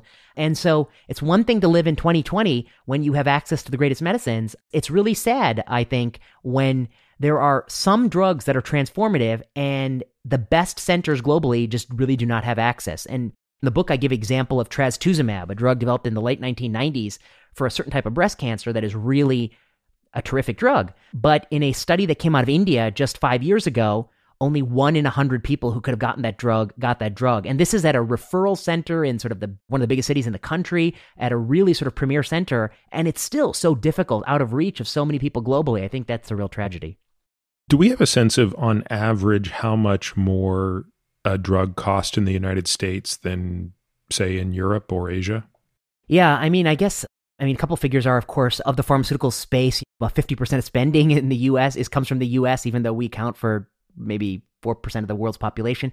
And how much of that do we know if it's volume versus price? Like, obviously, there's an accessibility issue, which says in the United States, you're going to, on a per capita basis, more people are going to receive the drug as well. It just seems like, as a casual observer of oncology, that basically the United States kind of has a sort of tacit quid pro quo with pharma, which is here's the deal. Do the lion's share of the R&D inside the United States let us have first access to the drugs. We're going to subsidize the cost for the rest of the world. Directionally, that seems to me what's happening. Is that about accurate? That is a fair summary of the lay of the land. I guess I say a couple things. I mean, one of the points you made earlier was what about the price versus volume? I mean, I think one helpful comparison would be like two nations with comparable GDP, US and Norway, and we pay roughly double what Norway pays for cancer drugs.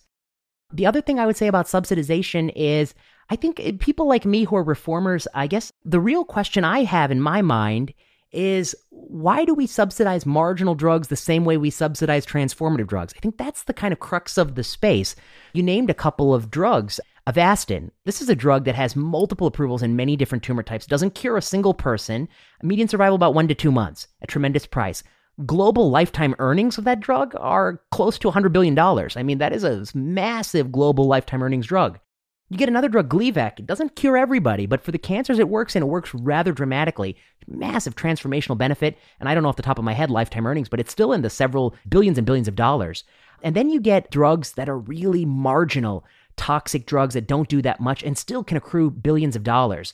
I guess what I want to say is that one of the ways in which I think we can correct the market here is if we just incentivize the drugs we want, which are drugs that have bigger benefits, more substantive benefits, and if we didn't pay so much for those drugs that really don't add a lot, don't cure people, and just prolong survival very modestly in very select cohorts. So I guess I'm not opposed to paying for things that really do work. I guess I'm opposed to paying for things that we don't know work, that have a lot of uncertainty, or that we know don't work. I think that's more what my criticism is. Yeah.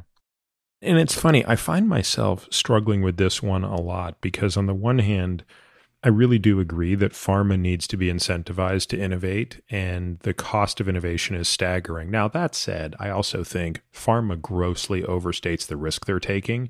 I mean, they've basically outsourced research to biotech. So, if you really want to think about it, drug discovery is now a venture capital problem, which means it's a private citizen funded risk. So, private citizens and pensions basically fund VCs that take the risk to take biotech from IND to phase one to phase two. Pharma then says, okay, this is de risked enough.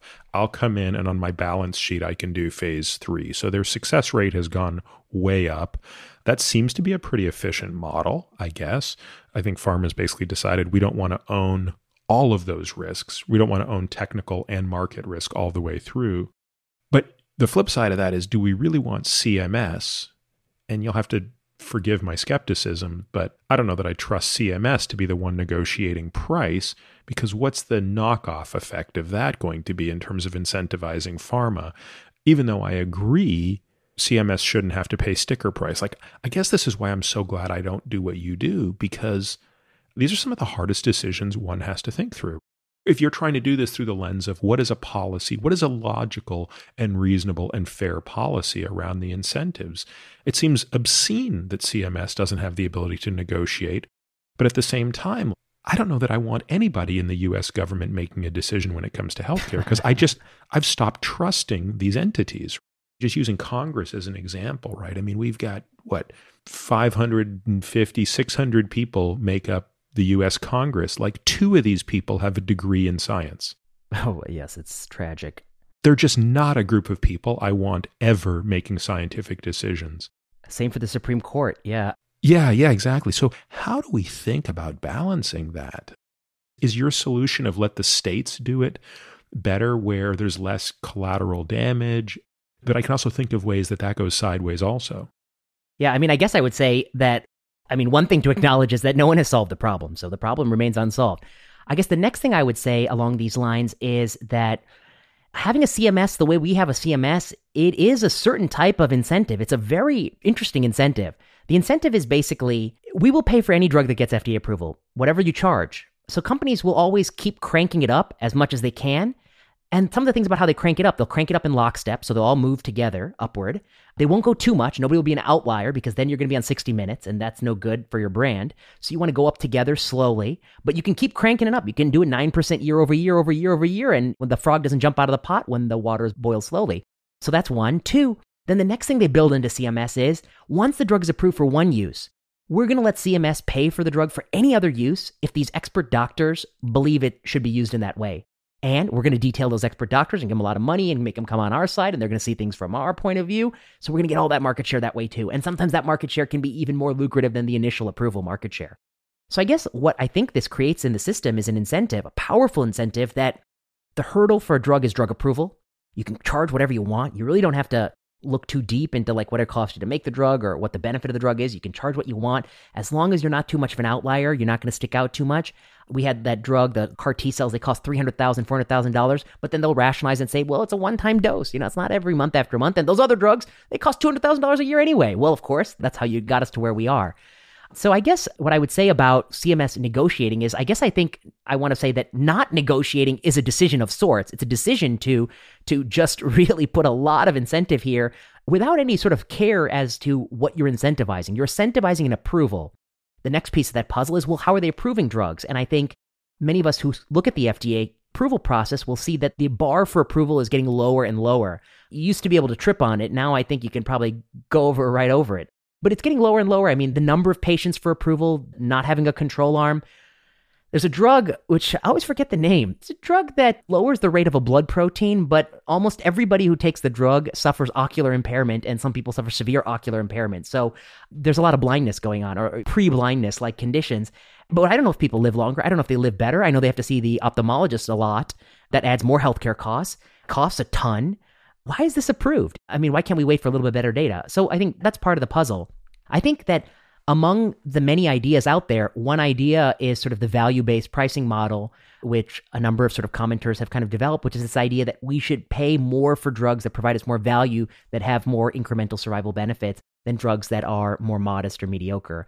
And I think if there's some way in the system to build in greater incentive for the drugs we want, well, then that would be good. It would have a lot of good secondary effects. But I agree with you that all policy, it's so hard because there's always unintended consequences and people will always sort of find paths of least resistance you couldn't foresee. The reason I do like state level expansions, state level initiatives, is that to some degree, good policy is experimentation. You experiment, you see what happens, you course correct. You run experiments in parallel, you see what works, you adopt that broadly. I think you do need experimentation in the policy space. And in medicine, we've suffered because we have not done enough of it in the long run. Now, if CMS makes up, I don't know, I have no idea what it is today, but let's just say it's 25 to 35% of the payer in the world, in the United States, right? So 25 to 35% of all insurance is CMS. What about the private payers? Why have they not banded together and say, well, there's no law that's preventing us from negotiating with these clowns? We're going to do it. Now, I know that part of it, of course, is that the majority of their business is probably ASO. So they're not on the hook for risk. They don't care. I mean, they're basically administering a service and it's the employer that's doing so. Is that why? Is it just, is there's no one big enough to negotiate? Clearly, CMS is bigger than any one entity. Yeah, I think there's probably a couple reasons why we haven't seen more activity from private payers. One is that if they don't cover what CMS covers, I think they will look bad and they can easily be on the nightly news where you'll find a cancer patient who's angry that they didn't get some drug or the other. And that's not good for your brand. That's not good for your reputation. And there have been some high profile situations in the last 30 years where people went on the news. And I think insurers, they may not want to take that risk. And the next thing is, some of these drugs may cost a lot, but the budgetary impact might be a little bit lower to the insurer because it's a small population. So in those cases, it might be cheaper for them just to pay for the drug than it is to deal with the pushback from not paying for it. I think the worst thing is that the insurers may have a different incentive altogether. What do I mean? One of the provisions of the Affordable Care Act was to cap the amount of profit that could come off revenue through an insurance company, 20% profit on revenue, the medical loss ratio, the MLR the moment that that is inserted into a system, it's a really unique incentive. The industry, the insurance industry, now they're being told that no matter what, you can never earn more than 20% profit on revenue. That's the most profit you can earn. That's a law. So if I tell you you're really hungry and you can only eat 20% of the pizza, what size pizza should I order? The answer is going to be extra large. So what I think has happened in the insurance industry is that although we hear a lot about insurers who have pre authorization requests and, and all these things that are a pain in the ass for doctors, and doctors hate. Although we hear a lot about insurers pushing back on this or that, I think they do that for a couple of reasons. One, that the insurer's incentive is to make sure year to year variability of costs is predictable and that they can model that out and make sure their premiums go where they need them to go to ensure their profit revenues. They're really nervous about year to year variability, and that's why Hep C drugs come along and they can blow the whole model because the population is massive. But I think the insurers in the long run, keeping costs down, I think that they may not have enough skin in the game. They don't have enough skin in the game to keep costs down. So they really don't care. And so I think the narrative is, of course, that insurers are the downward force, but I don't think they're the downward force that we think they are. I agree with you. And I, I think it's the employer that has the most skin in the game. But the problem is they're so disaggregated and so spread out that they can't speak in a unified way and they can't fight in a unified way. But if you were to look at the sort of my this is a loose way to think about it, but let's just call it a handful of buckets of insured. Medicare, Medicaid, private insurance that is administered only through the insurance company. So the ASO employer based versus the insurer based insurer, you know, private insurer. I think the biggest one has to be the employer and even if it's not, it's the one that has would have the most sway. But yeah, it's like how does this company of 300 people band together with this company of a 1000 people and that company? Which again, I think speaks to the pain of all of this. One last thought on this space is there's also tragedy, the commons problem. Many years ago, when autologous stem cell transplant for breast cancer gained popularity, there were a couple of insurers that did pay for some of the clinical trials that ultimately debunked that procedure. But now one of the risks is let's say there's some new drug out there and a lot of people say like this is not doesn't work so well. This trial is really contrived. An insurer could come along and they could do the right study. They could really test how it works in a different population. They could fund such a study. The moment they fund that study, that information is generated, well, all their competitors will get access to that information. So there's a bit of bit of that challenge as well. But yeah, I mean, I think you're asking terrific questions about this space. So let's get back to hallmarks. Number five is possibility. What does that mean? I guess I call it the preclinical pipeline must be expanded possibility. So I guess I would say we spent a lot of time talking about drug development from the point of view of the fledgling biotech to the pharmaceutical industry. One of the things that's a part of drug development that gets forgotten about a little bit is the role of the NIH, of course, in funding basic science. And the NIH, uh, to some degree, does shoulder some risk in this space. They fund a lot of sort of science for science sake, identifying novel targets that are ultimately, some of which are clinically exploited. I guess I would say that although it feels like we spend a lot of money on the NIH, $30 billion or so per year, I think it's not nearly enough. That science is like the greatest thing that people have ever done.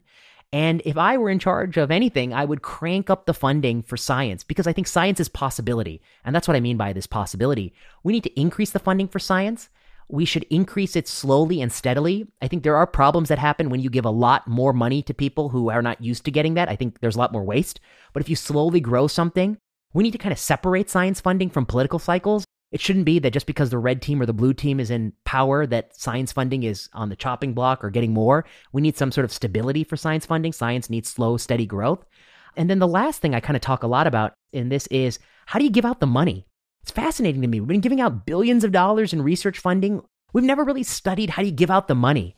If you look at the way the money is given, it's really kind of lopsided. There are a few people who get a lot of funding. Their labs are flush with money. Some of their labs are so big, one wonders if the boss ever meets all the people who work in the lab. There are hundreds of people who work in the lab. They're really like financial operations run by a financial manager who's the boss and then some scientists underneath it. And there are a lot of people on the other end of the spectrum whose labs struggle to get money, even basic funding. And so I guess in this kind of section of the book, I kind of explore are there ways we can kind of bring some experiments to giving out money, do some small, simple randomized control trial studies, follow people and look to see measures of equity of who gets the money, measures of research satisfaction, burnout, measures of how translation occurs, some kind of controlled studies in grant giving. And then the last thing I just say is blue sky science. So there's this, this branch of science typically called blue sky science where it's just science for science sake. You don't come to me and say, I want to do this experiment because I'm going to cure melanoma. You come to me and you say, I just want to know how the cell does this. I just want to know, like, why does it do it? Why does this happen? And that type of science, that type of inquiry that we all have as I think kids and high school kids, that inquiry is really, really difficult when you are a academic doctor because there's not a lot of money unless you make promises. I'm going to cure this disease. I'm going to cure that. If you want, say, I just want to understand how this works, it's really hard to get funding. And I think it should be the other way around. Some of the greatest advances in science were people who pursued things purely because that interested them and the finding and the translation was serendipitous. And so I think that's what I mean by possibility. I couldn't agree with you more on this. I have many friends who sit on study sections in NIH, which means they're basically the people that watch how NIH gives money. And their biggest complaint is look, we are really not permitted to take big risks here. I mean, we are very incremental in how we fund because we are on a funding cycle. They cannot fund pie in the sky blue sky, really, really fundamental basic questions. Because when I go back to Congress in two years and say, I need this much money, the answer better be because I did X, Y, and Z with this. And, you know, I've seen some of this firsthand. And again, I understand it. I mean, we don't want resources to be wasted. So it almost suggests you want to have two arms. That, that would be my take. You want to have two funding arms. You want to have the translational funding arm that is meant to be incremental, that is meant to look at basic science and ask, is this ready to go to the next step? Is this ready to be taken to a clinical pathway? If so, are you leaping too much? Are you not leaping enough? And then I think you have to have a totally separate group that is responsible for funding a totally different type of science, which is all about basic inquiry and the advancement of natural knowledge regardless of where it takes us. Because as you pointed out in the book, actually, there are lots of examples of some of the most exciting discoveries in the history of the last 400 years, which is effectively the era of modern science, that came from nothing other than pure inquiry. I think that's well said. That's a very thoughtful way to look at the problem. One of the people that you cited, Jim Allison, whose work ultimately led to that blockbuster class of drugs, an immunotherapy doctor. It wasn't that long ago when people, I remember people made jokes that that line of inquiry was foolish and misguided and that was never going to succeed. Lo and behold, it turned out to be sort of a Nobel Prize winning discovery. So I think you're right. Yeah, that's the right way to think about it. So the final hallmark is agenda. What do you mean by that? Agenda is something that there have been a number of researchers, and including people who work with me and myself, who have gotten interested in the last couple years which is what happens when you take a 30,000 foot view of cancer and look at the clinical trials agenda.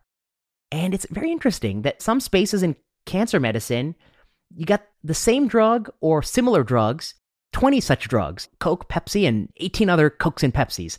And people are running redundant and duplicative trials. They're all testing them in the same tumors, in the same setting, with the same old controls. Sometimes they're running many different clinical trials with drugs that have low promise.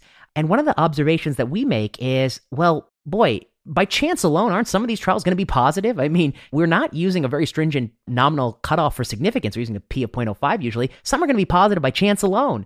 How do you account for that? How do you account for this duplication? Who's keeping track? It's like you need a Bonferroni correction factor for the number of trials as opposed to the number of looks, right? Absolutely. In fact, we did a paper where we corrected one with a Bonferroni we got a lot of pushback from those peer reviewers. It's a totally novel application of how you would use a Bonferroni correction factor. But you instantly see what I'm getting at, which is that within a study, if you do a lot of comparisons, you take into account the number of comparisons to some degree. We can debate what statistical procedure to use, but we do take into account that we're looking at this data many times. So we could fool ourselves. But when you're running many, many studies, shouldn't you also do the same? It's a philosophical question. It's not really a statistical question. And the answer, I believe, is yes. So that's what we talk about in this section in Agenda. We talk about what does it mean to take that into account?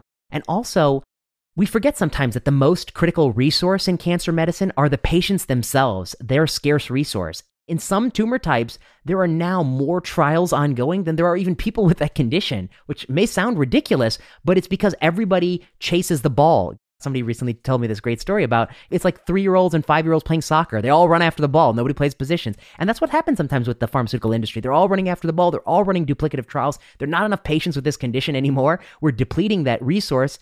And what do we have to show for it? And how do we interpret those studies? So I think that's what we talk about, which is that somebody has to think about the big picture, or at least we have to look at it and be recognize what the agenda looked like across the entire field. So coming back to oncology, is there a role anywhere for tumor genome sequencing. There are many companies that do this commercially. If there's one email or call I hate getting, and unfortunately I get it every two weeks, it's the friend of the friend or the friend of the family, the patient's cousin, whatever, that has just been diagnosed with essentially an uncurable cancer. They're basically saying, Peter, what advice do you have? And it's always heartbreaking because I don't have any. It's by definition, if I'm getting that call, it's because their oncologist has already said there is nothing to do here. These calls go in many different ways. I just had one a week ago. They were asking about some supplement. And generally, when I get asked, when I go down the path of, well, this person has this hyperbaric oxygen protocol with this supplement protocol with this, this thing, and the other, you know, the first thing I like to inquire about is the cost. My view on this, which may differ from yours, is first, we don't want to increase the harm of this person. I don't think there's anything wrong with hope. I think there's a lot of things we don't know if they work or don't work. But I'm certainly pretty squirrely when someone's offering a panacea treatment for $20,000 of vitamin C, rubbing garlic on your testicles or whatever the concoction is. So we go down that whole path, which is, you know, is there anything out there that's in the quote unquote holistic world that's going to work? Another thing that tends to come up is is there a role for tumor genome sequencing? And I've certainly had within my own family and, and that of friends sent people to Foundation Medicine. Truthfully, I, I haven't really had anything come out of it that's been a, a game changer. Probably the only time in my life with this experience that I've gotten kind of lucky was a friend that had pancreatic cancer. I mean, this was several years ago, but he had Lynch. And I had just remembered reading a paper about how patients with Lynch were more likely to have checkpoint mutations. This was prior to the approval of Keytruda, but it was in trials. And so we're able to get him into a trial of Keytruda, and he turned out to be a remarkable responder. And to this day, he went from unresectable to cancer free, which he remains about a decade later, or nearly a decade later long winded preamble, talk to me about your view on tumor sequencing, off label drug use, targeting therapies, that sort of thing. Just to allude to the, the other part of what you were saying that I thought was really right, which is I think we probably share the same philosophy, which is that often people come to me and they talk about some alternative or complementary approach that they want to bring into their care. And my view is probably maybe not dissimilar from yours, which is as long as it's not too costly, as long as it doesn't have an opportunity cost, interfere with what we're wanting to do. It's not a hill I want to die on because I think people should be allowed to pursue those things. And I do think that one of the problems I get a little irritated by is there are people who want to die on that hill and really draw a line in the sand. And I think you can poison a relationship with somebody and it's not worth it. I mean, at the end of the day, if it doesn't cost too much, it's not really too harmful, and somebody really is motivated to do it and it's not going to interfere with what you want to do, have at it. And just the humility of like, what do we know? We have to be clear here. Like, we don't know a lot of stuff. Right. And by the way, it's not like we have a track record that says we're winners. right. Right. I mean, I think that all goes into it. And that's also why I think that's all a part of it. Yeah, right. And then to come to your NGS question, I guess I would say next generation sequencing, tumor genomics. I guess right off the bat, there are definitely some people who definitely need to be tested for some mutations. So let's just talk about the ones that definitely need to happen. You mentioned lung cancer. It's a no brainer. Right. Lung cancer, there are at least six or seven mutations that we now have FDA approved therapies for. Definitely There are different ways you could test for the same mutations, but that's another thing to keep in mind. But you need to know about EGFR, you need to know about ALK, particularly if the person is a younger person, non smoker. Melanoma, you need to know about BRAF. Colon cancer, you need to know about MSI high status. So there's a number of things we have approved drugs, and we publish some papers. There's maybe 20 or 30 things, and a good oncologist usually knows the mutations for the tumor. The next thing is now we do have an approval for microsatellite instability high, which is probably like your patient with the Lynch syndrome pancreas cancer, uh, no matter what tumor type. You know, that's something that we have an approved drug, very reasonable to test for. Then I think the next way that NGS can be used is exactly as you used it. I'm a huge supporter of, which is that you're using NGS to pair your patient with a clinical trial. I think that's a perfectly acceptable way to use NGS, to run a broad NGS panel. And if you find a trial that fits, have at it. The next part about it, I think, is tricky, which is that the part that I think that I kind of have the most friction with some of my colleagues is after having done all these things, you've looked at the mutations, we have approved drugs, you've tried to find somebody trial. Sometimes you do NGS on a patient and there is a mutation that is seductive. It looks like you have a drug for it. There's no trial available. And you also have a standard drug that we normally give. And in these situations, it is so seductive to believe that because we found the mutation and the target, it's better to use the targeted drug than that older drug that may have a longer track record.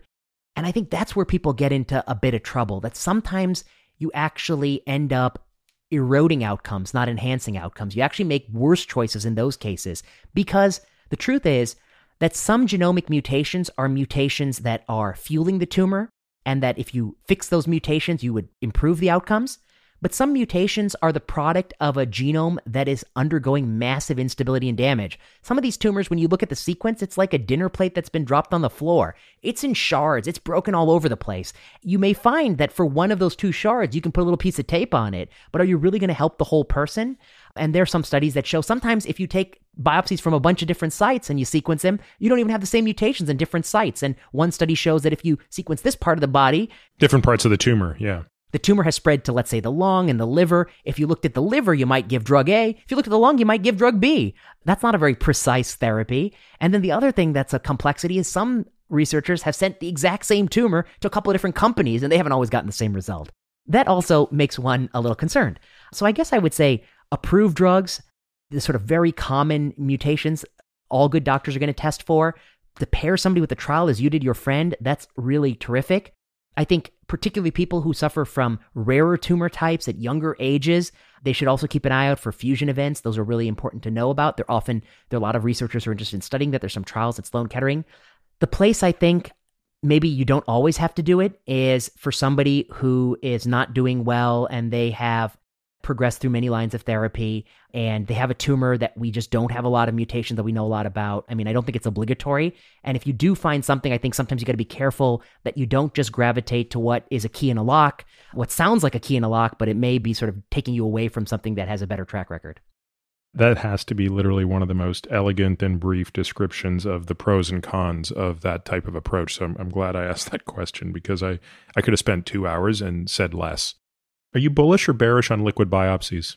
You indirectly alluded to it, which is look, with leukemia, we're basically doing a liquid biopsy. Correct. So now the question is when we, a year from now, presumably have at least phase two data on liquid biopsies for solid organ tumors and lymphomas, are you optimistic? And how do you see that changing the way we practice potentially?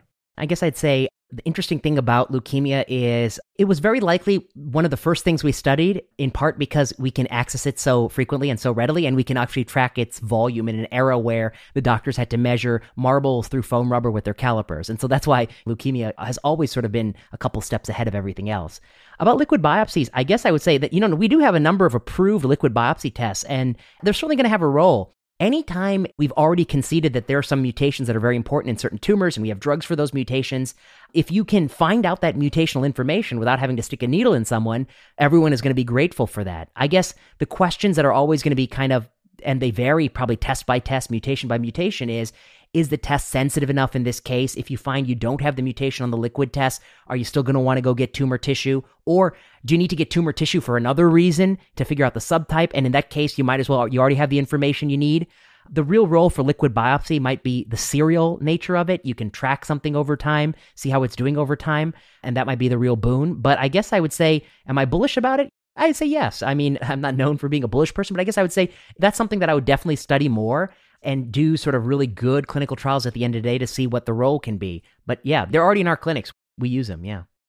You've talked about this indirectly that, I mean, look, you're naturally a skeptic, you're naturally critical. Those are very valuable tools. They've served you well. And more importantly, they've served many people well, meaning your skepticism and your critical thought has sort of made medicine better.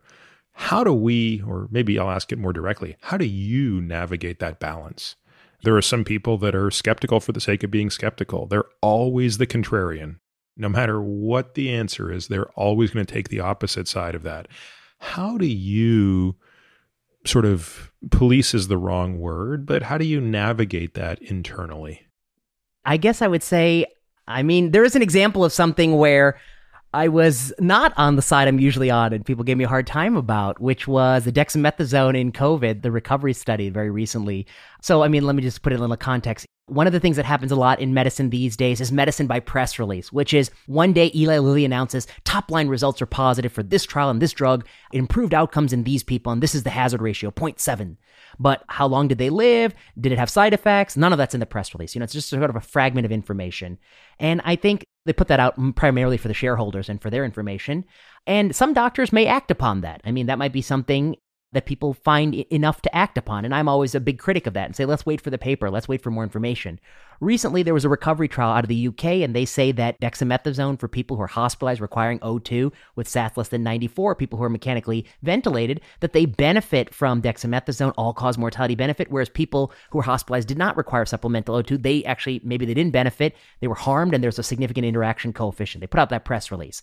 And I went online and I looked, and I'm like, oh boy, you can read their protocol. Their protocol was published a month ago. It's available, it's 35 pages. You can read it. And you can read the statistical analysis plan. That's also out there. It tells you exactly exactly what they were going to do, what the pre specified endpoints are.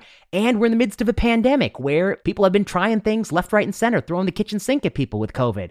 And so I said, the evidence is good enough. We got to do this right now. We got the press release. We got you know, I like to say a press release and a protocol, that's like a driver's license and a social security card. And a paper, that's like a passport.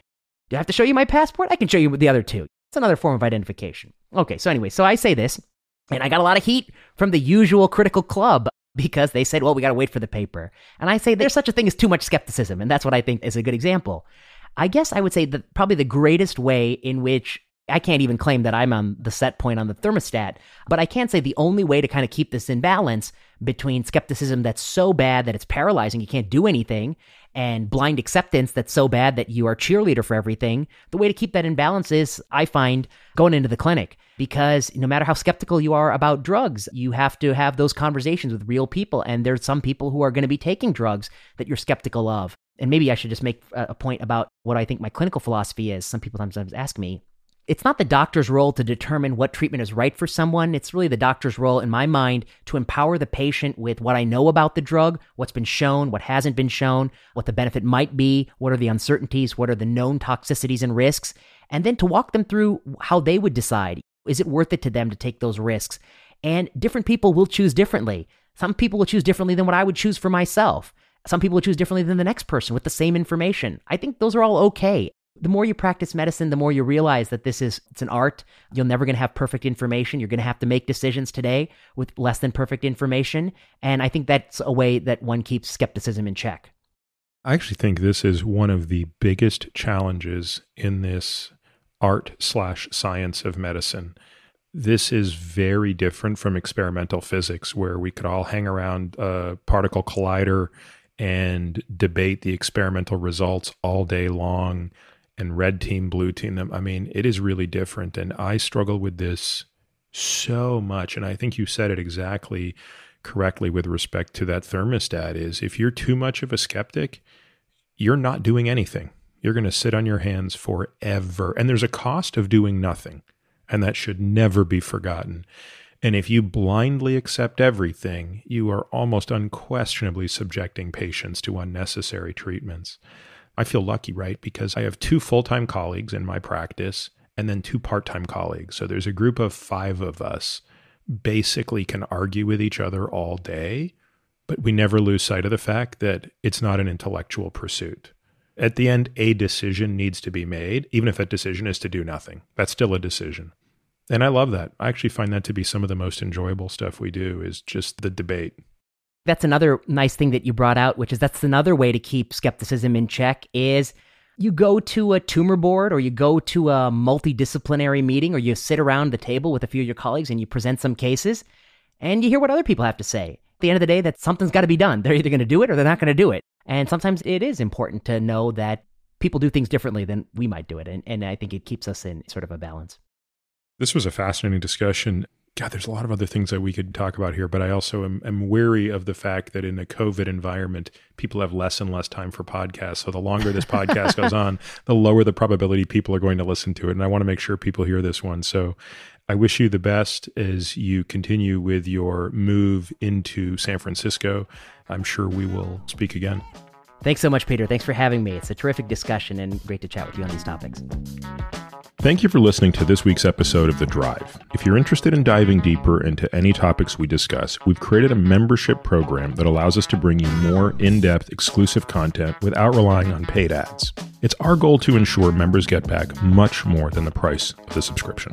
Now, to that end, membership benefits include a bunch of things. One, totally kick ass comprehensive podcast show notes that detail every topic, paper, person, thing we discuss on each episode. The word on the street is nobody's show notes rival these. Monthly AMA episodes or Ask Me Anything episodes, hearing these episodes completely access to our private podcast feed that allows you to hear everything without having to listen to spiels like this. The Qualys, which are a super short podcast that we release every Tuesday through Friday, highlighting the best questions, topics, and tactics discussed on previous episodes of The Drive. This is a great way to catch up on previous episodes without having to go back and necessarily listen to everyone. Steep discounts on products that I believe in, but for which I'm not getting paid to endorse and a whole bunch of other benefits that we continue to trickle in as time goes on. If you want to learn more and access these member only benefits, you can head over to peterattiamd.com forward slash subscribe. You can find me on Twitter, Instagram, and Facebook, all with the ID Peter Attia MD. You can also leave us a review on Apple Podcasts or whatever podcast player you listen on. This podcast is for general informational purposes only and does not constitute the practice of medicine, nursing, or other professional healthcare services, including the giving of medical advice. No doctor patient relationship is formed. The use of this information and the materials linked to this podcast is at the user's own risk. The content on this podcast is not intended to be a substitute for professional medical advice, diagnosis, or treatment. Users should not disregard or delay in obtaining medical advice from any medical condition they have, and they should seek the assistance of their healthcare professionals for any such conditions. Finally, I take conflicts of interest very seriously. For all of my disclosures and the companies I invest in or advise, please visit peterattiamd.com forward slash about, where I keep an up to date and active list of such companies.